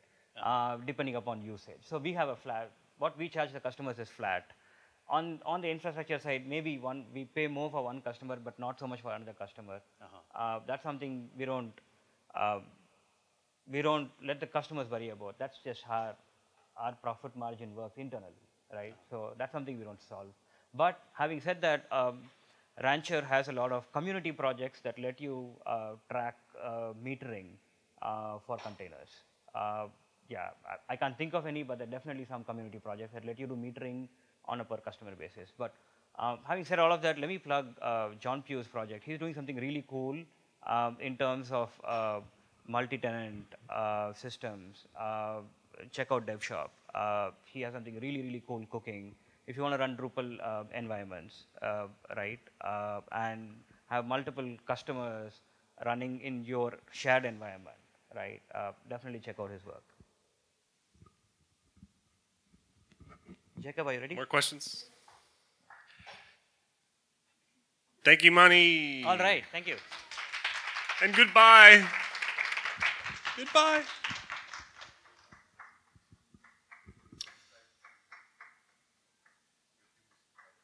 Do you have slides or? I have a Google Doc, but I actually wrote it out.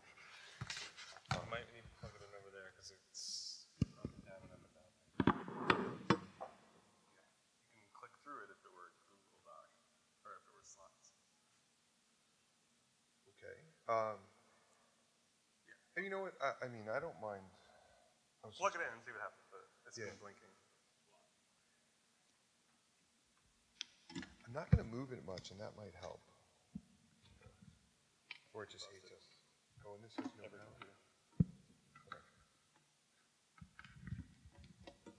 We're not recording this, are we? We are? I'd rather just be loud. Loud is easier.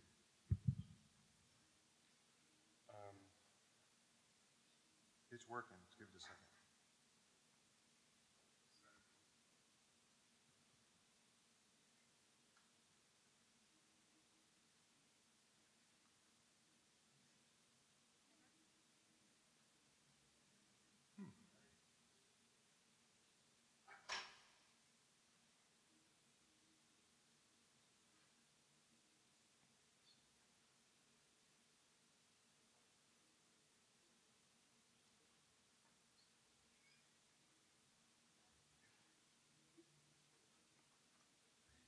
It's, picking up.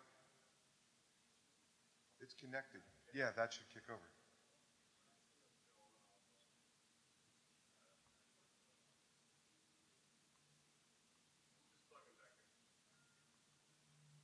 Okay. But then I, it's not slides, that's the problem. All right. You know what? Uh, no, I'll just talk. I mean, I just have a Google Doc, so I'm actually organized on my thoughts, and I don't mind. Uh, something just blinked, but.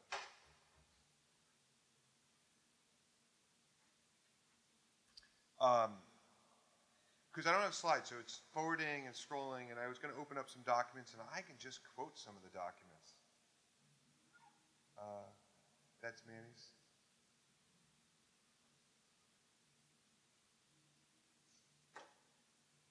Right, we're giving up on this. On the. All right. So, I kind of wanted to talk about uh, the future of Drupal, Drupal 8, um, in s- a specific reaction I'm having to like recent threads on Reddit, which are kind of fascinating. Like, uh, I'll first start off by saying Reddit is like the bottom of the barrel of discussions. Um, it's like where the trolls go to complain.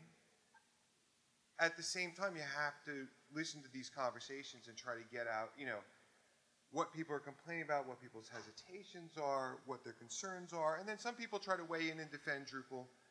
Um, and just take a step back before I get more into detail is about me. Like, so I'm the maintainer of the web form module. My name's Jake Rockowitz. Um, I am heavily invested in Drupal. I want to state like my opinions before I start talking about this. Is heavily invested in Drupal, value the community. Um, I like building big and complex things like the web form module. I'm not as interested in the newest, latest, shiny thing. I don't have a problem with doing something that just works and is stable and reliable. And I see a lot of technologies come and go quickly, and some are here to stay. And Drupal's been here to stay for over 10 years. Um, and this is a funny, honest statement about Drupal: is enterprise clients pay more.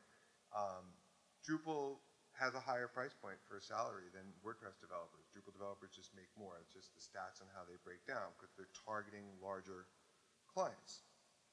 Um, I kind of want to ask a general question, like who's new to Drupal? I'm going to do the question, you know, that I hate those, but it's like, who's new to Drupal? Show of hands. Who is experienced in Drupal and is using Drupal? Okay, who's experienced in Drupal? I assume that's everyone else. Who's using Drupal 7 only? And who's moved on to Drupal 8? So it's like like half and half. Um, oh, I have no power. So, to, to kind of talk about Drupal 8 and kind of give a background, there's a couple blog posts that I was going to pull up, and they're not, the titles help enough to describe it, because there's the first one, I think the most important blog post about setting the stage for Drupal 8 is Dries wrote a post that, you know, was called Drupal is for ambitious digital experiences. This happened at Baltimore three years ago as Drupal 8 was coming out, or maybe it was even before that, he did a keynote, and wanted to make the point that Drupal's changed.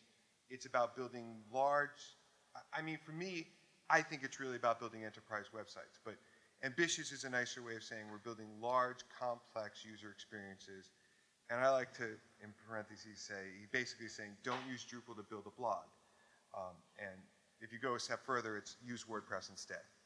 Uh, at the same time, some other people wrote blog posts where they asked, like, Drupal, we need to talk. What's the future of Drupal here? People are not adopting Drupal 8 as fast as we wanted.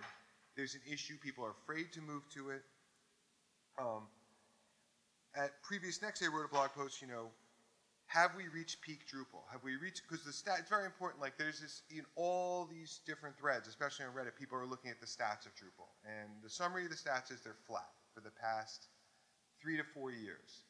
And initially when Drupal 8 came out, it was assumed they would remain flat because people would be hesitating to go to Drupal 8 while Drupal 7's still out. But now that Drupal 8's been out for a while, the stats are not going up on Drupal. It sits at about a million installations.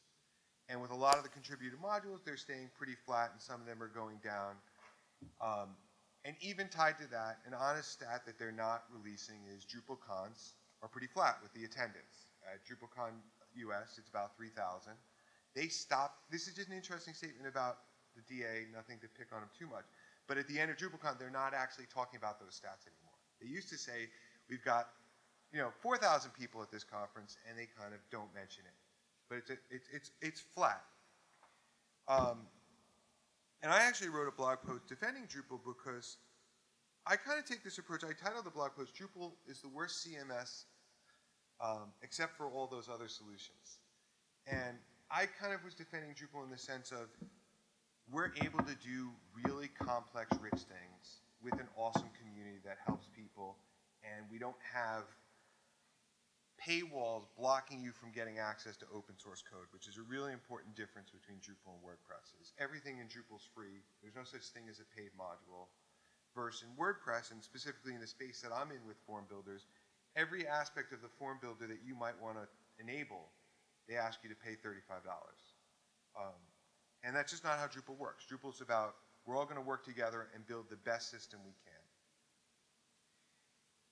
And Reddit recently had two threads where, you know, well, Dries wrote a blog post about Drupal's long-term growth obstacles. How do we make people adopt Drupal and make it grow?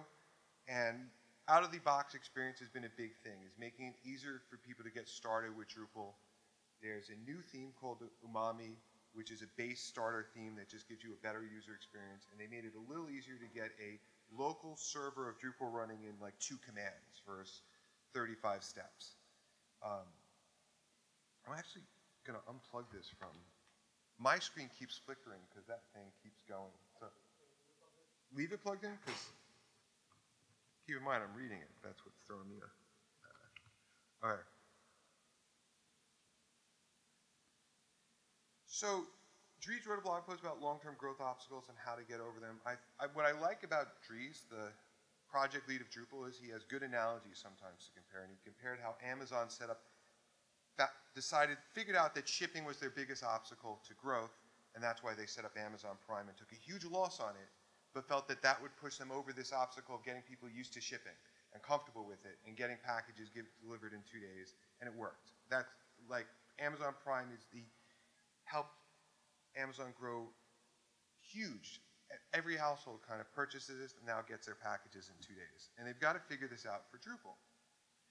Um, so Reddit had a thread. So this is where I wanted to show the threads because they're just fascinating. And we're not going to see it. But people just start grumbling about the complexities of Drupal, down to it's so much harder to do things showing code snippets and saying in Drupal 7 it was only, I, I love this one that I wanted to show on screen because basically the argument was, I'm not getting it on the screen, so I'll just give you, yeah, you could, yeah, I could share that. I can, I can wing it. I'm, I'm okay enough to be like, they're basically saying in Drupal 7 it was one file with 100 lines of code. In Drupal 8 it's seven files to create a menu, a callback, just a simple page that someone would go to and they're complaining about it. And personally, I looked at it and I said, they're not getting the other benefits of breaking things up into smaller files. I mean, I'm just going to step back from a programming perspective. When you're building complex things, when you break it into smaller pieces, it's easier to understand. This is a best practice. Instead of lumping things into one giant file, if you can abstract things into smaller components, it's easier to go in and customize them and understand. It's even easier in your Git commits to know what the hell's going on because if you change one of the seven files that's relevant, like the title of the page, it's easier to get there and know what, what happened. Um, so let me go back. I mean, that was, so people, the general, the threads in Reddit were good. That Drupal's too complex. It's also, there's another underlying grumbling is, um, the direction has changed to be more enterprise, and people were hobbyists using Drupal, and they resent the direction that Drupal's going. They feel left behind. They feel decisions were made that they weren't included on in terms of where Drupal was going in the architecture. And I can, there's some specific decisions that were made. And what, what helps to kind of explain this grumbling is to be like, what are the big differences between Drupal 7 and Drupal 8? So I have six bullet points, and these are mine, and I ho hopefully some people might want to weigh in if I'm missing something. There's less Drupalisms in between Drupal 7 and Drupal 8. In Drupal 7, there was a lot of custom ways that people were doing things in Drupal that no one else in the entire software community ever does it this way. So someone outside of Drupal coming in is totally baffled on what a hook is, or how it works, or how you set the menu callback, um, or even how you do templates. It was all this custom stuff that Drupal was doing. Even as simple as how to make an HTTP request from one server, a Drupal server, to another server was all custom code. And in Drupal 8, they went and found Guzzle, which is the amazing library to make simple HTTP requests and started using that. They got they called it getting off the island and trying to leverage the best practices of the software community. So that's my, you know, wow, keep flickering, guys. It's okay, it makes it even more challenging. Along with these best practices, like getting, starting to follow best practices, Drupal 8 is more object-oriented than Drupal 7. It is, I would argue, 80% object-oriented and the remaining 20% is some legacy code that's floating around. I gotta just be honest, when people say Drupal 8 is object-oriented, that's not 100% true. 80% of it's object-oriented and there's still some functional code floating around in there. Um, and just tied to that, I mean, see, we're not, you know, most people are familiar with Drupal. Symfony was adopted. That's another big thing of getting off the island and taking a best practice. I like to call out another big thing for Drupal. Views in core, I think, is a big thing because it represents something. It represents Drupal saying, we're going after enterprise customers and taking modules that were in Contrib that are really, really important and bringing them into core and saying these are supported. We're trying, and, and views in core represent, and, and the CKEditor coming into core was bringing things into core that make it competitive with other enterprise solutions. And for me, that argument with Drupal 8 is a really strong one. And that's like even the future and the initiatives of Drupal are all tied to that. Um, another example would be Twig improving templating. And the last big difference I think is performance is, I personally think performance is a lot better in Drupal 8 because of caching. That they went after solving one of the most difficult things in programming, which is caching things properly and invalidating it, and solved it. I mean, that's like a incredible accomplishment. Um, by the way, I like that my differences all go toward really what's great in Drupal 8, not what's um, good in Drupal 7. It's hard for me to defend Drupal 7 because I feel like Drupal 8 is the future. Um, to play the, the flip side, because I mean, there's a lot of great things in Drupal 8. The things in Drupal 7 that are great is there's a huge amount of contributed modules available, like 10,000 supported modules that have been used for seven years.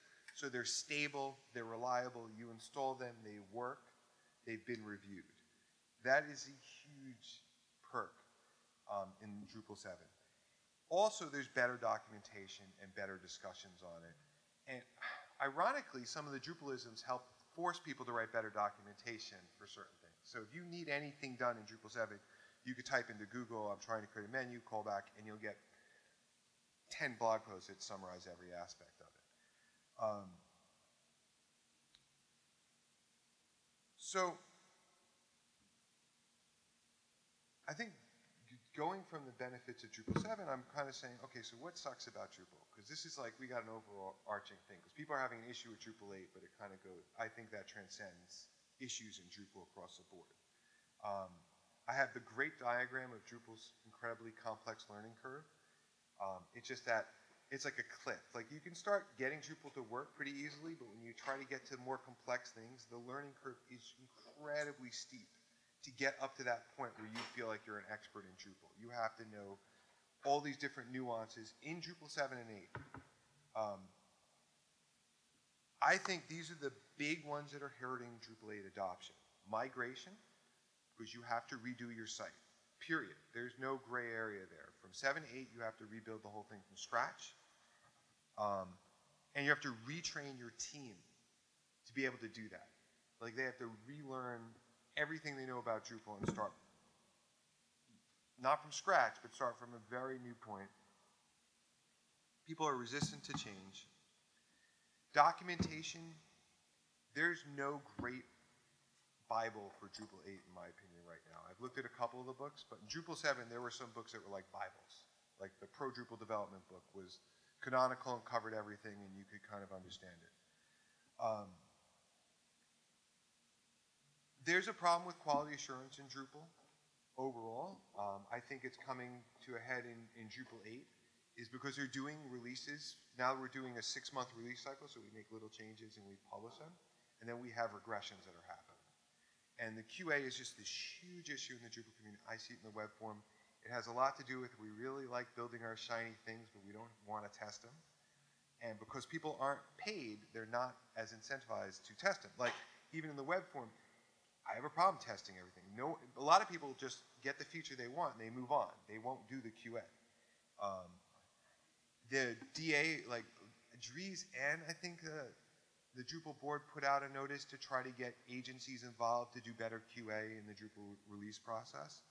But this, it really does hurt the adoption because people get frustrated, especially if you break someone's site or, you know.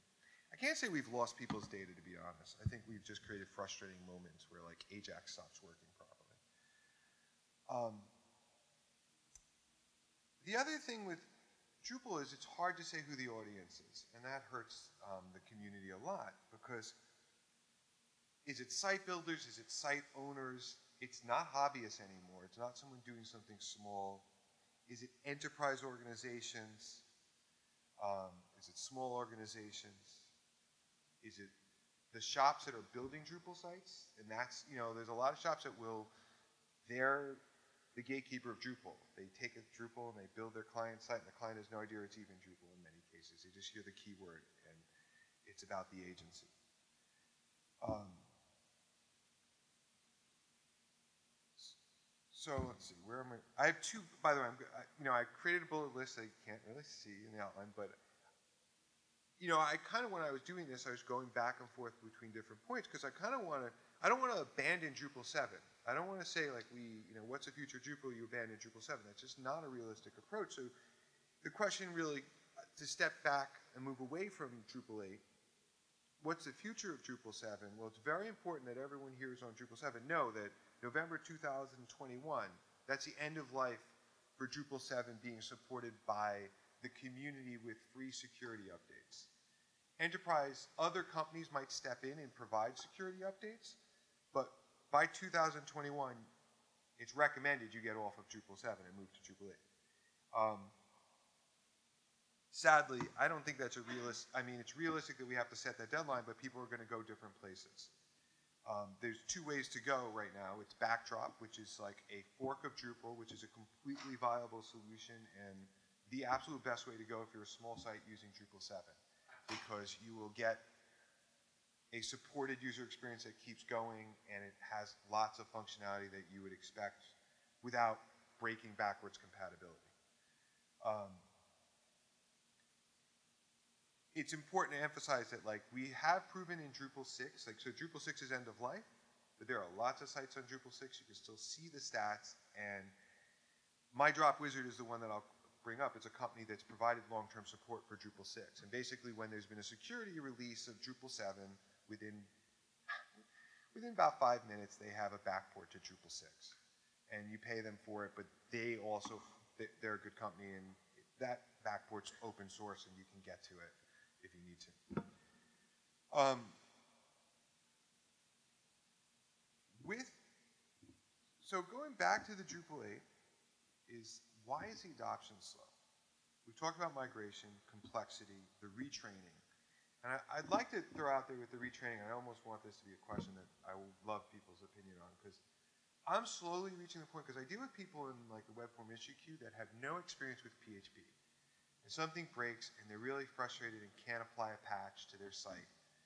And I'm slowly of the mindset that you can't build a Drupal site without some developer or paid support looking over your shoulder to help you. Just how the community set up, where it's complex. And if you run into a problem, you can't just assume that someone like me for free is going to solve your problem that minute at that time.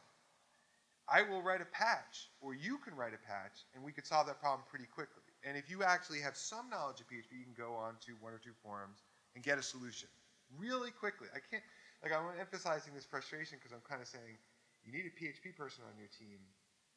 And if you had that, it's ridiculous what you can get done. Um, and that's a real problem in, in, in the adoption because people are really frustrated. In Drupal 7, I don't feel like that was the case. It wasn't that complex, and you could kind of get away with installing a certain set of modules and it's working. I mean, the, a, a great example is like the rules module in Drupal 7 is completely stable.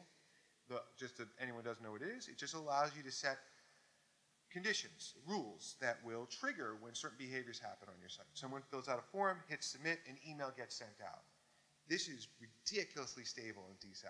Like this is an awesome system for a site builder. You know nothing about code or anything, you can actually do almost anything with this module. It's not stable for D8. You should not be using it unless you know how to apply a patch because it's not. It's an alpha releases. Um, so it's a real big issue with D8 is this adoption, the, the, the level of skill, retraining. And, and the final one with Drupal is like there's competition out there. And we have to admit that there's competition and target people that should be using Drupal and shouldn't be using Drupal. I mean, the, you should not be using Drupal for your own blog. I don't use Drupal for my own personal website and was actually rejoiced when I got off of, off of Drupal for my own site. And I went to like Strikingly, which is like Wix, and I pay them and they take care of everything. And I just have to write a blog post and I stack my little containers like a gut got, like I stack my containers using a page builder. I don't have to think about anything, and it's great. Um, and there's just a lot of, you know, WordPress is definitely has a certain market. I, I mean, just a quick WordPress versus Drupal, because I actually talked about it in my blog post, is, you know, WordPress is huge. It owns 30% of the web, smaller sites. They're getting more enterprise, but they're missing the tier that Drupal's at. And um, one of the big things that I'll throw out there with Drupal is security. Like that, just like Drupal, we have security the best that you could possibly have in open source because we have a security team. We have people thinking about it. And they're finding issues and talking about it. Meanwhile, in WordPress, it's very scattered. Each individual piece of WordPress has their own kind of security. I've seen some really bad, you know, because you, you don't have a centralized team looking at it. It gets inconsistent and you get vulnerabilities. Um, I'm at 28 minutes, which is not too shabby. All right. Just look at the positive of Drupal And then we can start talking about questions. Is uh, I was watching Dries' presentation at Acquia Engage. And I didn't really talk about Acquia much, but so Acquia is like, you know, the enterprise company overseeing Drupal in some weird way. They're not. They're not in charge of the Drupal project, but they're the biggest company supporting Drupal. Um, the comparison of Acquia would be how Red Hat is to Linux, Acquia is to Drupal. And Acquia is a huge investment with different people working on different aspects of Drupal. I see them in the community all the time. Everyone's great at Acquia that's in the core team. I mean, they're doing things. Anything that you rejoice recently that you saw in Drupal happen, Acquia's had some play in it by hiring someone who's working for, you know, like Acquia's paying someone to contribute that back to core. Like the example would be the media builder. I've seen the developers it's me the media library.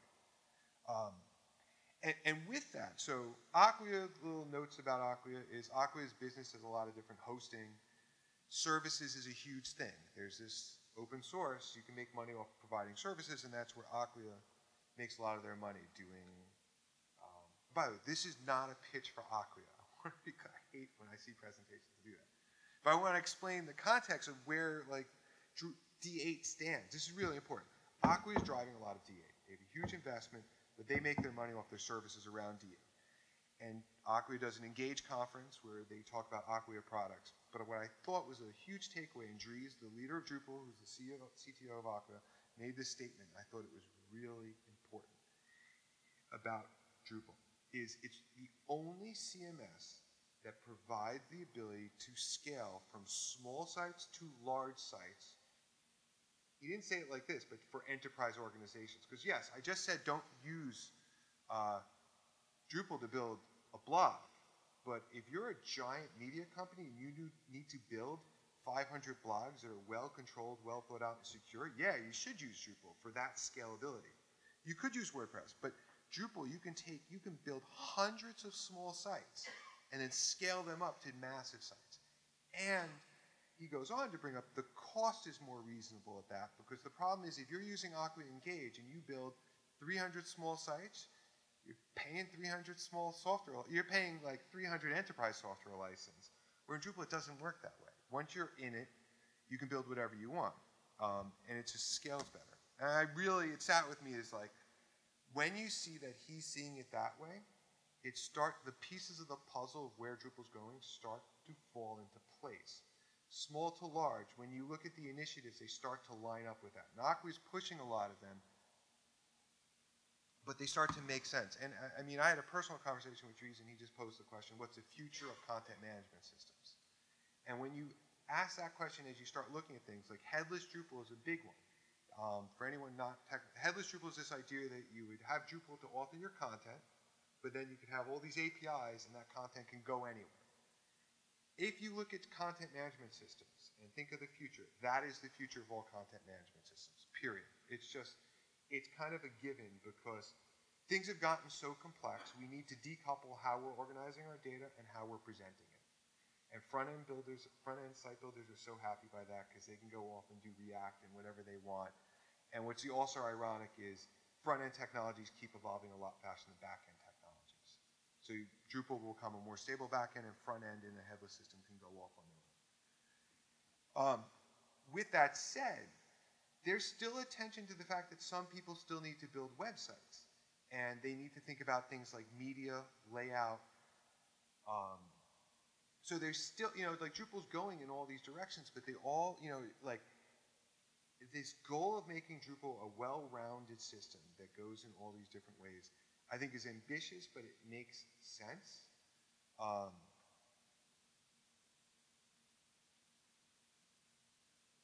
so what's what's the future of Drupal 8 and how are we going to help it or is this even a problem? Do we even care? I mean, one thing I'll throw out in my mind, I keep trying to justify this slow adoption of Drupal 8. I try to fantasize that, well, for every, you know, the, st the stats are flat. And I personally see people coming onto Drupal every day. I see new registrations on a weekly basis. In the web form issue queue, I'd say I see on average three or four per week of literally people who have just started using Drupal, logged in, created their account, posted their first issue. So there are people coming into the community but there must be people going out of the community. And my only optimistic hope when I say something like that is that for every like, you know, site we lose, it's a small hobbyist site and we're gaining one giant enterprise site. I don't know how realistic that is, but that's one take on it. Um, there is an initiative to improve the marketing of Drupal. Um, I, I'm starting to write blog posts about this whole concept of marketing and open source because this has got to be the big, this big issue in our communities. We don't think about it. We just write the code and we assume it's all fine and dandy. But Drupal needs to better market itself. I, am open to saying that everyone in open source needs to better market themselves if we want things to be more sustainable. So it's, and, and you know, just getting into this blog post I'm, I'm working on, but it's like, you've got to, you know, understand your customer, give them a message, tell them what you're selling them, provide messaging and support, and and you know get a better communication with them. That's a very broad statement, but um, that's about. I'm going to stop there and say, you know, what are people's opinions, questions? Can we have a discussion here? I threw out a lot of stuff here. Yeah. Oh, we could. I, I mean, I barely use this microphone. Go.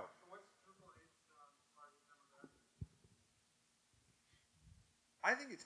I mean, I, I think like that we're not in the community. We're not putting a number on this, but it's like enterprise sites. Like the target demographic is like people needing to build complex websites with more than just. I, I throw it out there with the headless stuff. It's more than just a website. It's more than just information. It's interaction. It's, I think interaction is a big part of it because, you know, I'll throw out you need you might want, you know, like the groups module where you're building communities.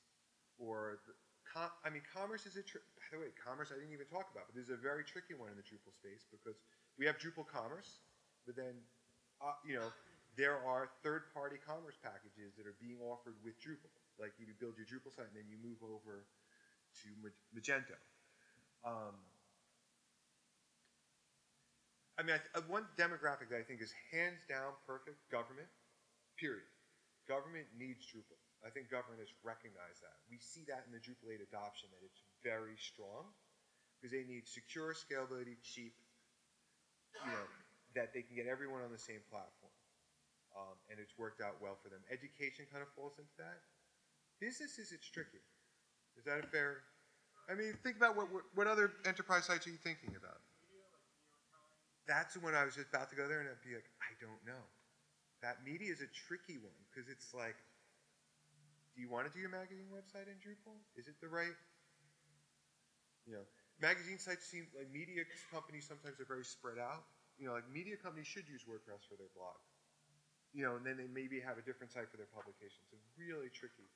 And by the way, New York Times is like, I don't know what they're on. I think they're on completely custom still.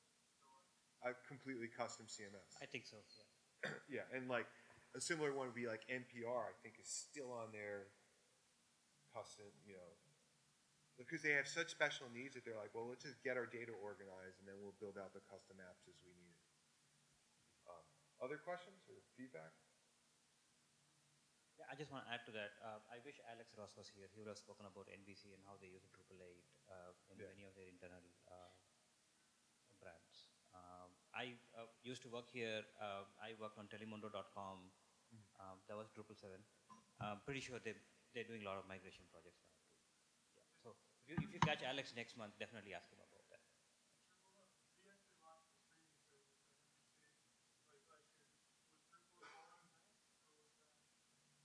No. So the, I, as far as I know, and I left three years ago, uh, that's a third-party um, service with like a Drupal skin on it.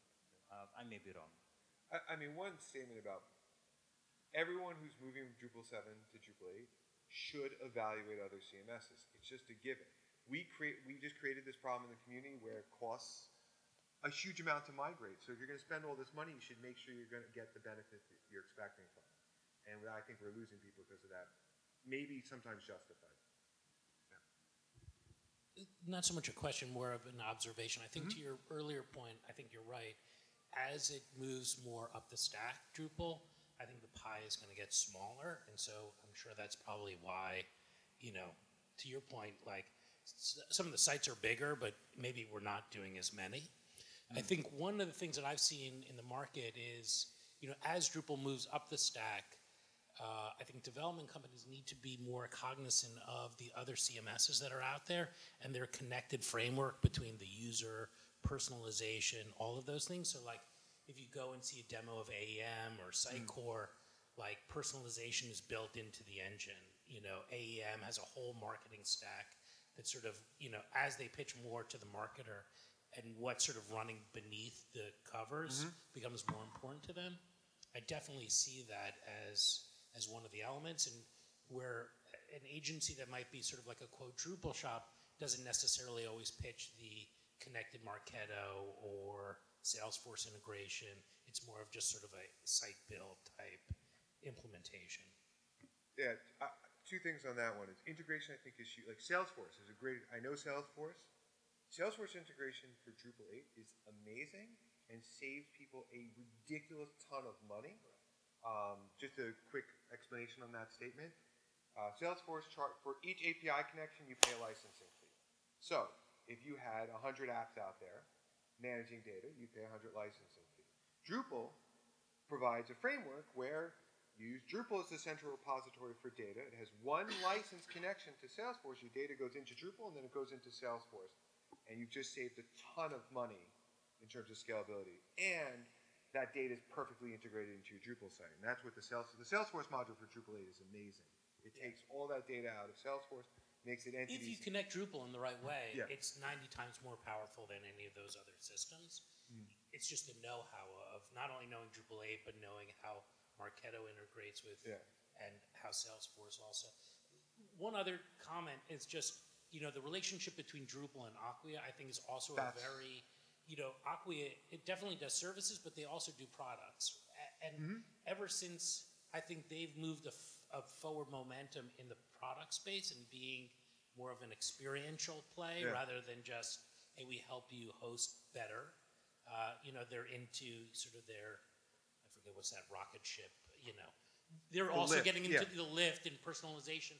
You know, I wonder how, especially from a customer buying perspective, that in a, that it's you know has, has dealt with sort of the plateau between. I- I mean, I kind of appreciate Acquia's strategy, and I think it works. Because I'm just going to throw out like Lift is a good example. So Acquia offers a service for personalization, and yeah, I, I mean Drupal's like there, and Acquia is offering this other tier above it, and I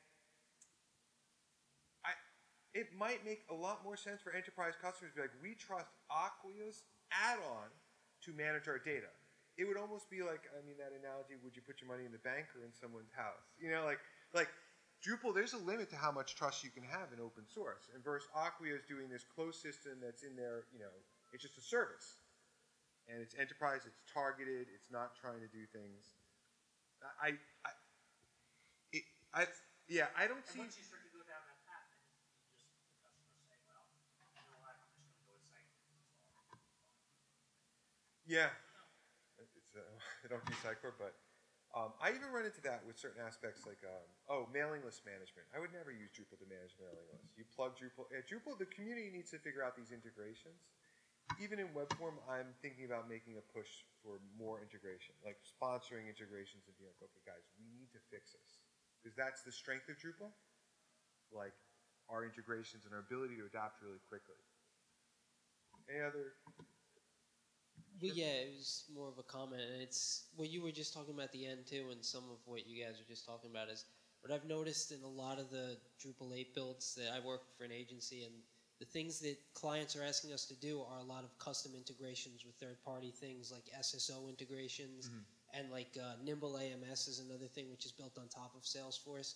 So I see that as if Drupal is built in a way that makes it really easier quicker relatively to other systems to integrate with these kinds of tools, it gives Drupal a real advantage over anything else, and that is something that I think would keep driving Drupal forward if it's if it's better able to, to make these integrations because that's where like a bulk of the hours that we estimate and that we end up doing the work for these projects comes from. That's why companies are paying us is to do that. And if Drupal makes it easier, then you know Drupal's gonna stay strong from that.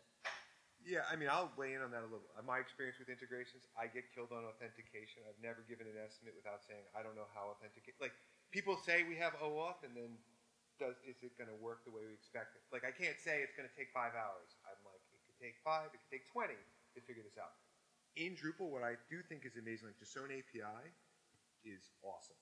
Like it's so simple to explain to someone that you can get data in and out of Drupal so easily in this standardized format, and that if the community can keep evolving it, like it'd be great if we could build nice Swagger APIs off of that, and that could help with the integrations. I agree. When we get into this third-party abstract custom stuff, we're stuck writing custom code, um, and we're not really coming up with patterns that make it faster. No, I'll throw that out there. Um, anything else, or? Cool.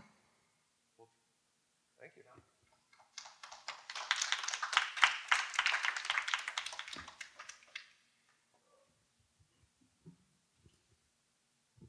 That's right. So that was it. Anybody else want to talk?